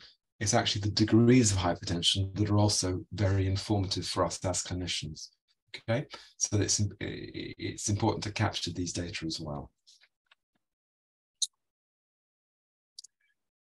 However, remember, as I said, that in those people that are young, that are likely to have spontaneous um, dissections of the, of the cervical arteries, blood pressure is generally not a factor. But as I said, the lack of factors doesn't mean that you're safe because there's this this horrible idea of, of, of spontaneous um, dissections. Okay, so this is the uncertainty. Even if they're negative, they're still potentially at risk, and you have to still potentially be cautious. So, with a neurological examination, what is it that, that we need to do? Well, as I've already alluded, um, it is important to conduct a good peripheral nerve examination. That would include checking myotomes, dermatomes, and deep tendon reflexes of the upper and the lower limbs, and look for evidence of um, clonus, um, abnormal muscle tone, and for any upper motor neuron problems. Okay, so that's important to be able to do. So it's not just myotomes and dermatomes. We're looking for evidence of, of, of upper neuron, upper motor neuron problems as well. Okay, um, it involves doing a cranial nerve screen too. So anybody with neck pain uh, and also presenting with a headache, these are the things that you want to do. Peripheral nerves, upper and lower extremities, upper motor neuron signs, um, upper and lower extremities, and cranial nerves. Okay, um, and then we can do some auscultation of the carotid artery. We can also potentially um, auscultate near the vertebral artery, and again, I'll be I'll be um, showing you that um, on my partner as a model at the end of today. Okay. Um,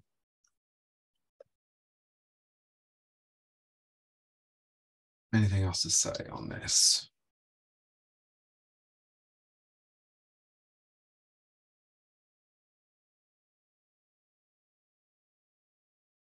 I suppose the only thing really to say uh, to finish off with this lot is that the results that you get from these are need to be interpreted with the knowledge that none of these are 100% sensitive, none of these are 100% specific, so the reliability isn't going to be as much as maybe you would like. And even if they were, because of this whole phenomenon of spontaneous dissections occurring in a younger population, even if all of these tests were 100% reliable and they were all negative, you still can't rule it out. Okay, you still have to proceed cautiously. So this is the uncertainty that we're dealing with in this case, all right, or in these cases. What do we do? Well, we need to onward relay referral. And, and, and here's a, another interesting lack of direction for us um, in the Western world. And I'd be curious to know um, from you guys what, what they do in Russia, but certainly in, in, in, in the UK and the US, there are no clinical guidelines that have been published that that highlight um, medical diagnostic workups for suspected um, cranio or, or sorry, um, vascular pathologies of the neck. Okay, so the advice really is that we or you work out what the local referral pathways are for referrals. Okay, um, and there are three modalities that you can use for um, assessing imaging, uh, good imaging for um, vertebral artery and also carotid artery health.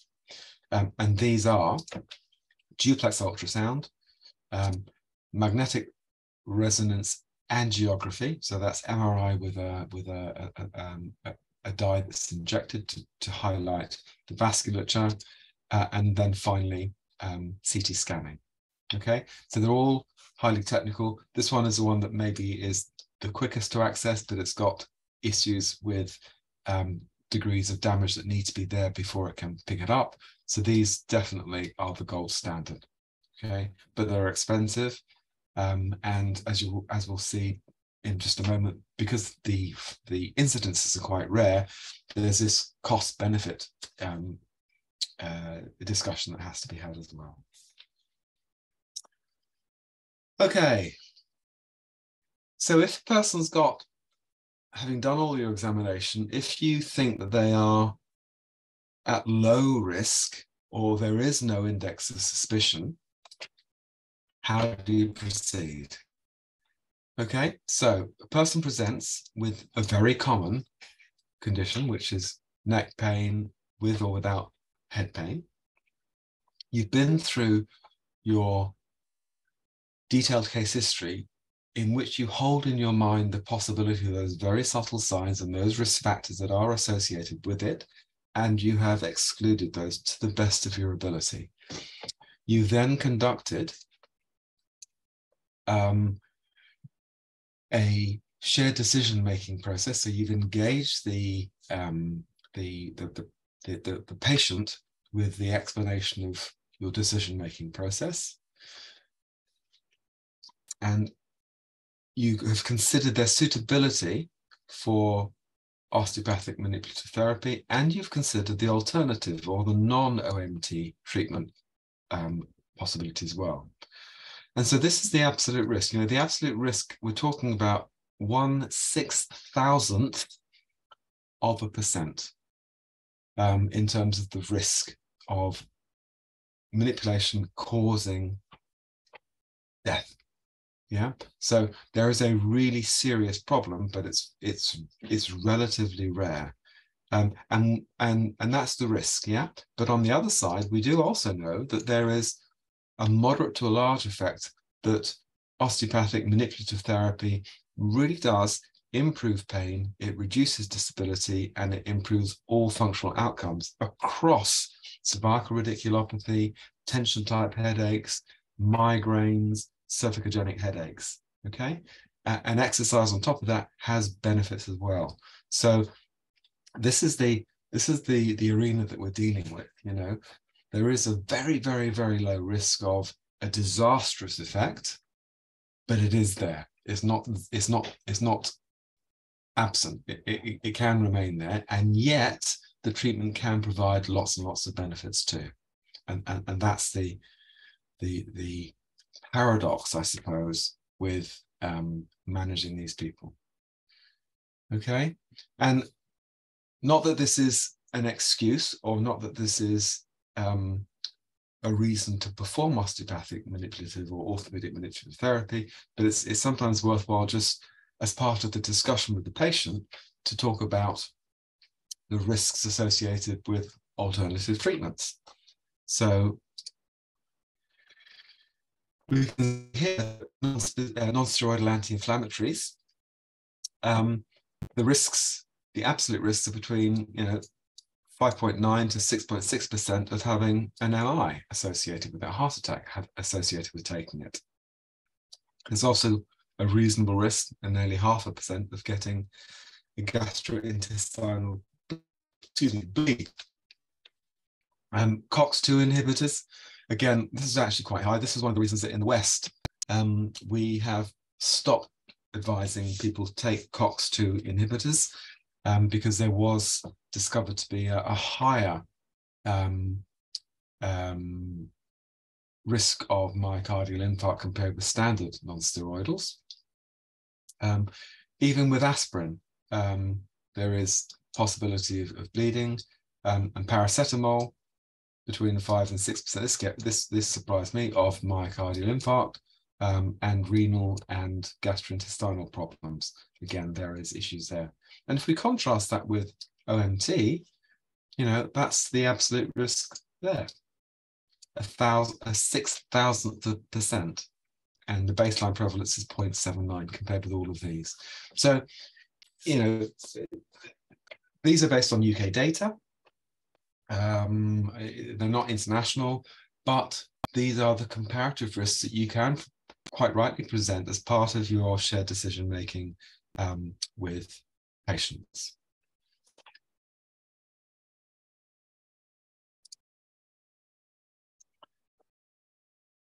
So, in summary, the rate of vertebral artery dissections in the general population is estimated between 0.75 to 2.9 per 100,000. Okay, so this is in the general population and it's not associated with OMT.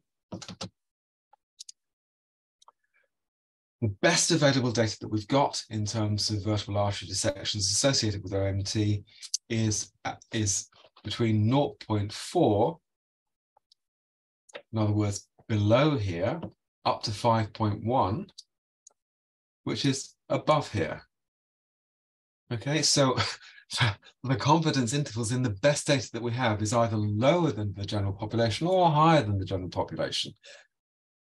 Uh, and that means that that it's very difficult for us. Yeah, the the the risks are between 0.14 and 6.66, and they're so broad that what it means is that that there's probably a fundamental problem with the defining of cases and the identification of cases. The retrospective nature of this means that our data is unreliable. Okay, um, because if you if you really looked at these data, what we're saying here is that by going to an osteopath, you reduce your risk of having vertebral artery dissection. I mean, that's clearly ridiculous because there's nothing that we're going to do that's going to reduce it. But that's what the data technically shows. All right. And that's the problem with it is that it's it's it's very difficult to judge the quality of the data of rare events associated with, with manipulation. All right. So how do we breach this and how do we have this discussion with, with patients? How do we do this? So, you know, what what's really important at the moment in the West is that we talk about the importance of allowing patients to take a play a, a key role in deciding what's best for them. Yeah. And so, you know, whilst we are the ones that evaluate the risks, we talk about the alternatives, we discuss the uncertainty, it's really, really important to understand how the patients understood their problem and what matters to them and what the context of it is. Okay. And it's important that they are involved with making the decisions. You know, do you get their consent? Are they involved in the treatment planning? Are they involved with the um, the onward referral process if that's what's required? Okay. So the guidelines is is, is helping is, is helping us to be aspirational in that we use an evidence-based approach that is patient-centered okay? And that we use a shared decision-making model in order to do this all right? So these are aspirational goals. And there's this notion of share which in in in english is to is to be able to to to um, work in partnership with a person, and they're using it as a mnemonic. So S is to seek patient participation, H is to help patients explore and compare options, and then A is to assess patients' values and, and, and preferences. The R is to re reach a decision with the patient, and E is then to actually talk about whether that decision seems to make sense for them, um, but also seems to make sense from the perspective of um, the evidence that's out there, and if not, to highlight that and have a discussion about that uncertainty. Okay. Now, Dennis asked me a question with regards to, you know, do I, what do I do with these people? Um, and, and, and, and how often do I manipulate um, my patients' necks and, and what's my position with mobilizations? And those are really valid questions. Um, and and what we do know from the framework is that it's it's it's important really to to work in a way that is minimally invasive. So so the you'll you'll see from two of those case histories that the the patients presented following trauma and the trauma was road traffic accident. But equally the trauma could be the manipulation. Yeah remember that although we are stating that probably people are presenting with an ongoing dissection event that is missed by the practitioner, there is also the possibility, an alternate explanation is that in fact the manipulation was the trauma that caused the dissecting event. So of course, it's super, super important in those people that are at risk that our treatment isn't the, the the the, the, traumatic event that tears the the um, the the vessels. All right, so it's important to keep our forces to the minimal, and that's not just for um, HVT; it's also for mobilization. Okay, um, and it's most importantly also to do with examination. So when you get a person to look over their um, left shoulder, and look over their right shoulder, and look up to the ceiling, which are all very standard um, examination processes, that it's really, really important that we understand that these two will be putting stress through the blood vessels um, in many different directions. And that in itself, if you've got a fragile blood vessel wall, yeah, could increase the risk and could be the trauma that sets the uh, the events cascading and starting. Okay. Um, cervical manipulations, you, I'm sure you've had cervical manipulations performed upon you by students. Um, some of them hurt. Yeah. Some of them are awkward. Some of them feel like a real strain. Some of them you get a little bit worried about. Um, so it's very, very important that, that, that your technical ability to generate HVTs in the cervical spine, if that's what you both choose, patient and practitioner choose to do, that they are comfortable. Because if they're uncomfortable, it means that probably your your technical competence is a bit crude and that means that there is a risk of um, straining tissues, including vascular tissues. Okay, and if I've scared you all beyond the realms of ever wanting to do any form of cervical manipulation or mobilization or testing ever again, um, thoracic manipulations, good old fashioned dogs, um, which have nothing to do with the neck, have been shown to be clinically effective for dealing with neck pain and headaches.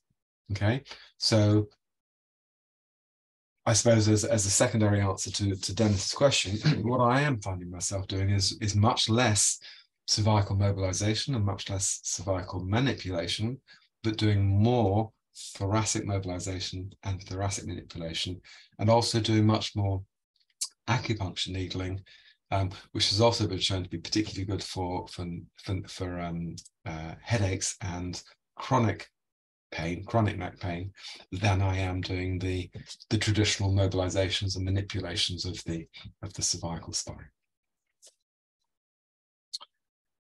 I think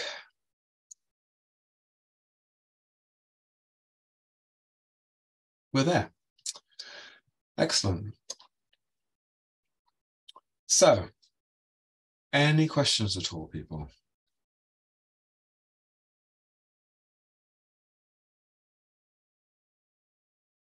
Is anybody out there? Looks like no questions. Silence again. oh, good. It's very weird not having any any any hearing when I'm, I'm lecturing like this. Very very strange. At um, the moment, I don't have any questions, Devon. So okay, thank you. Perfect.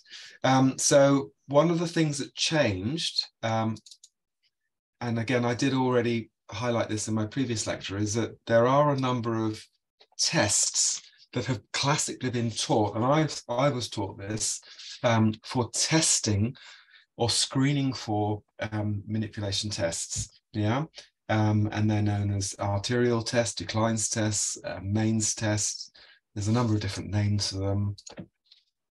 Um, Hallpike test, Hautant's test, Underberg's test, um, and and in the first 2012 iteration of the framework, it did suggest that we do these tests, uh, and and and and is like, no, we don't do these now because, of course, if the person's coming with uh, fragility to the blood vessels or an early dissecting event taking place and they're presenting with neck pain or headaches, if you do these tests, you are further worsening the problem. So the pre-manipulative, traditional pre, pre-manipulative vertebral artery testing is, is now not advised at all. Okay. Um, any questions?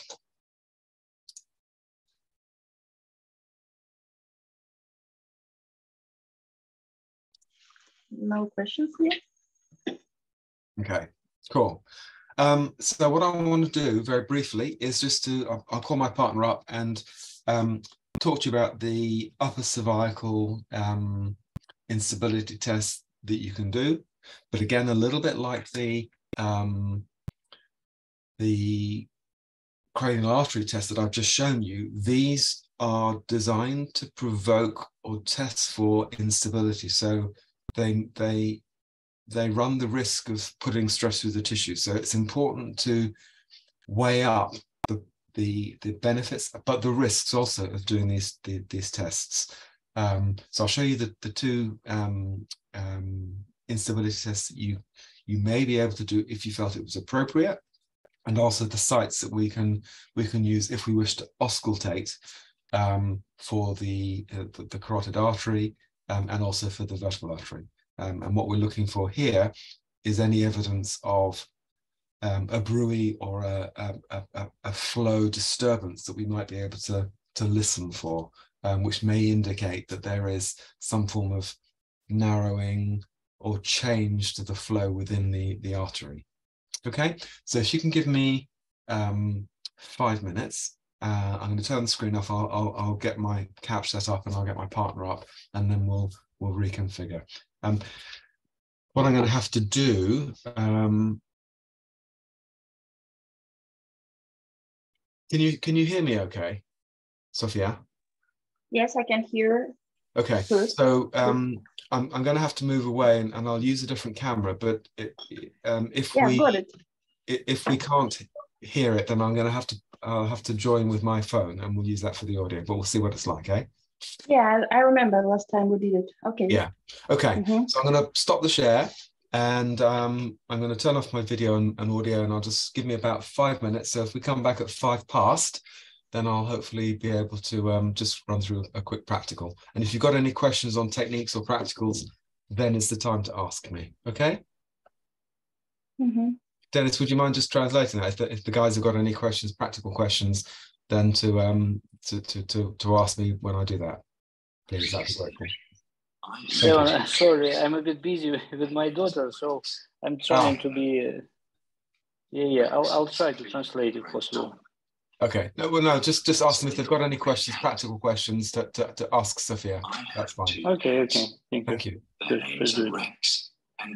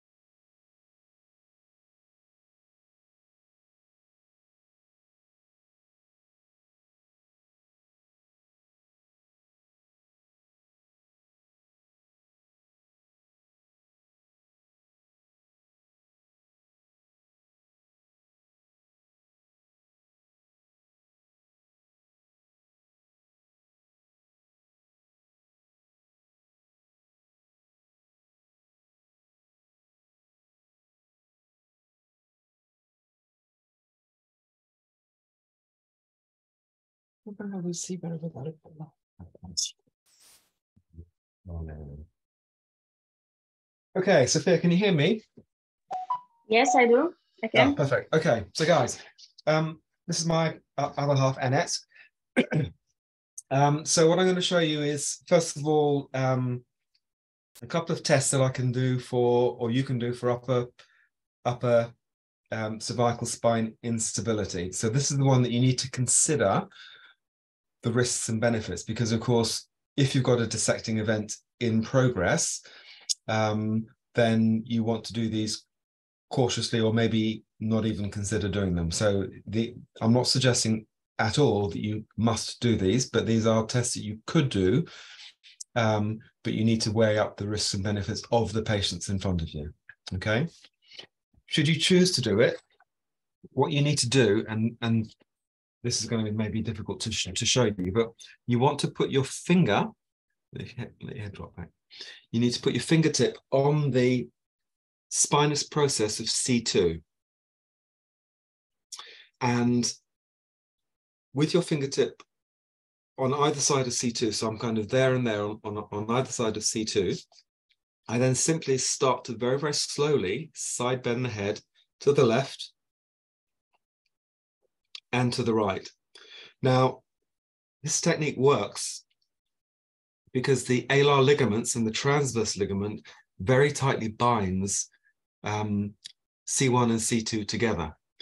And by inducing a side bending, you will get an immediate motion coupling where the, the SP of C2, so as I side bend Annette's head to the left, the SP of C2 will rotate to the right hand side. So I will feel in my fingertip. Um, so if I'm fingertip is there, as I side bend Annette's head to the left, I feel the SP do this. So it moves. Oh, let me show you this way. There we go. so my fingertip C2 SP is, is located there. I'm side bending Annette's head to the to the left hand side and it rotates. And if I side bend her head to the other side, it rotates in the other direction. So I will feel the spinous process of C2 rotating left and right as I side bend left and right. And if that happens, then it tells me that the upper cervical ligaments are working well, which implies that the ligamentous structures are intact um, and therefore gives us an indication that the connective tissue of the neck is intact as well. All right. The other technique that is traditionally shown is known as Sharp's Purser's test. Um, and I don't like this one because this is much, much more provocative.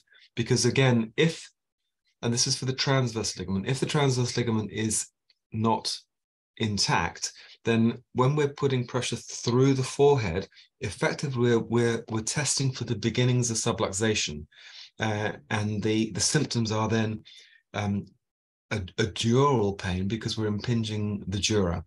Okay, so the test traditionally is done with you holding um, the lateral masses of C3 and pushing down whilst nodding the head. So you're, you're applying compression and nodding through the head, and you're feeling for a translation, a sliding forward of the um, C3 lateral masses, and the patient experiencing, remember, a provocation of symptoms. Okay.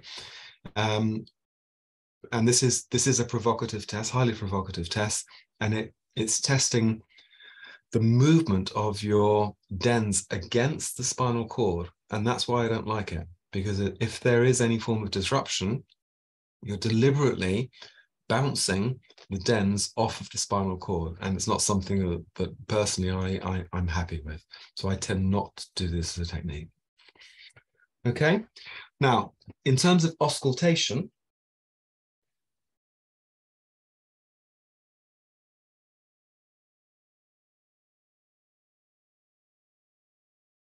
what we're looking to do for the carotids is you've got the carotid bifurcation located in here where you palpate. So you need to come in, get a gentle palpation, and then you place your stethoscope in this region here at the bifurcation and slightly higher up in there so that you're on the internal carotid and you're listening for any any bruit um, so you're feeling, you're listening for a shh, shh, shh, shh, which indicates that there is turbulence, the blood flow, um, normally in the arteries um, you should have laminar flow, which means that the flow is very smooth, it's not disturbed, and you won't hear, hear anything. This is the, the principle when you take blood pressure manually, is that when you put the, the stethoscope on the, um, the brachial artery, you can't hear anything. And then the blood pressure cuff very, very slowly occludes the blood vessel. And just before it shuts the blood vessel down, the blood flow becomes very, very turbulent. And that's what you hear as the Korotkoff sound. All right. So if the artery has got an internal restriction, whether that be from atherosclerosis or from a dissecting event, then the flow will be turbulent because it will be narrowed and you will hear the same noise that you would hear as you would get when you are letting the pressure off of a blood pressure cuff. So that sort of pulse that you would hear. And if you hear that, it indicates that there's a problem. The second place that you can do it, this is the, the vertebral artery comes up within the um, foramen transversarium, and then it comes very close to the surface, just around the back of C1. So effectively, just behind the ear, close to where you would expect to find. So there's the um, lateral mass of C1. There's the mastoid process. So just, just around this region here is where you would auscultate to see if there was any bruits, pulsing noises, again, um, but this time indicating flow within the vertebral artery. All right. Now, if you were to rotate the, the head a little bit more, then you're creating much more stretch through this side. So I'm rotating Annette to the left-hand side. That puts stretch through the right vertebral artery. Okay, it's provocative. So before you do the test, consider whether or not you deliberately want to stretch the vertebral artery. You know, this is effectively a Maigne's test. So you are you are stretching it. So if there is a dissection event, do you really want to do this? All right. So auscultate there, and you can increase the possibility of hearing it by turning the head to the left. And if you want to auscultate the right one, you need to, sorry, the left one, you have to rotate in the opposite opposite direction to the right. Okay, so those are the two zones that you would auscultate. Internal carotid and vertebral artery. Okay, let me switch cameras.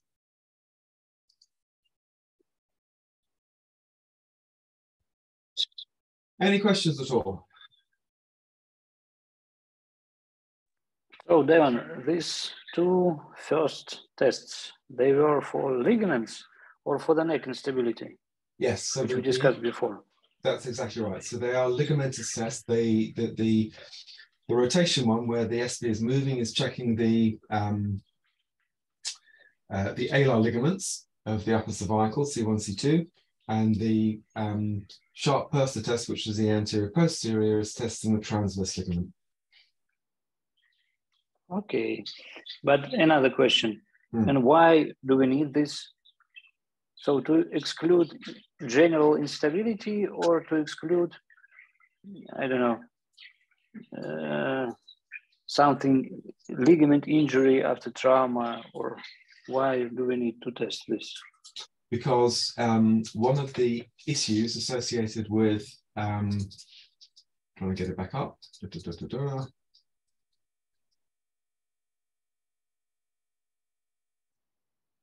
so you mean it may cause dissection of the artery? Um, no. So what I'm saying is one of the risk factors for um, dissecting events is um, hyperflexibility and Ehlers-Danlos, which is a connective tissue disorder. So if you've got a connective tissue disorder, it means that you're you have an increased risk of vascular problems of the neck, and you may be able to pick up possibility of um, instability in the ligaments. So the test is to see whether or not there's generic instability, which raises the risk factor for um, arterial problems. Okay, this one is clear. Yeah. And what about your management of neck pain or headaches? As I remember, yeah. you showed us some mobilization techniques with rotation. Yes. You remember? Uh, I don't remember, to be honest. Um, so my mobilization techniques it's I think it's, for me a lot of the headache related problems are to do with the um, the, the muscular components. So a lot of work will be that I would probably aim to do would be on uh, sort of myofascial trigger points. It would be on the suboccipital musculature. Um, and I find myself nowadays working much, much more with uh, static inhibition, ischemic compression, so you know sustained compression rather than repetitive mobilizations, um, and acupuncture. Um, I tend to do more thoracic um, manipulations and mobilizations. I'll do cervical traction, lots of inhibition, but I, I won't tend to do too much nowadays with um, with neck rotations. Mm-hmm. Okay, interesting. Yeah. Yes, thank you. I think that's it. Any any questions in the chat from other people at all? It doesn't look like it. I think no one is all here. the rest are left. Yes, all the rest they left. All left. Oh, Because dear. they don't speak English mainly. Yeah, I So. Okay, well, I hope that's um, okay for Tatiana to translate.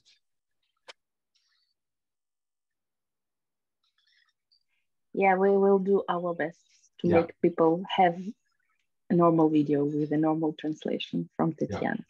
Okay, she may. I don't. I don't know how she's going to do it, but I'm sure. I'm sure she will. Okay. Okay. Yeah. Thank you very much, Devin. No problems. Thank you. Good luck. Bye bye.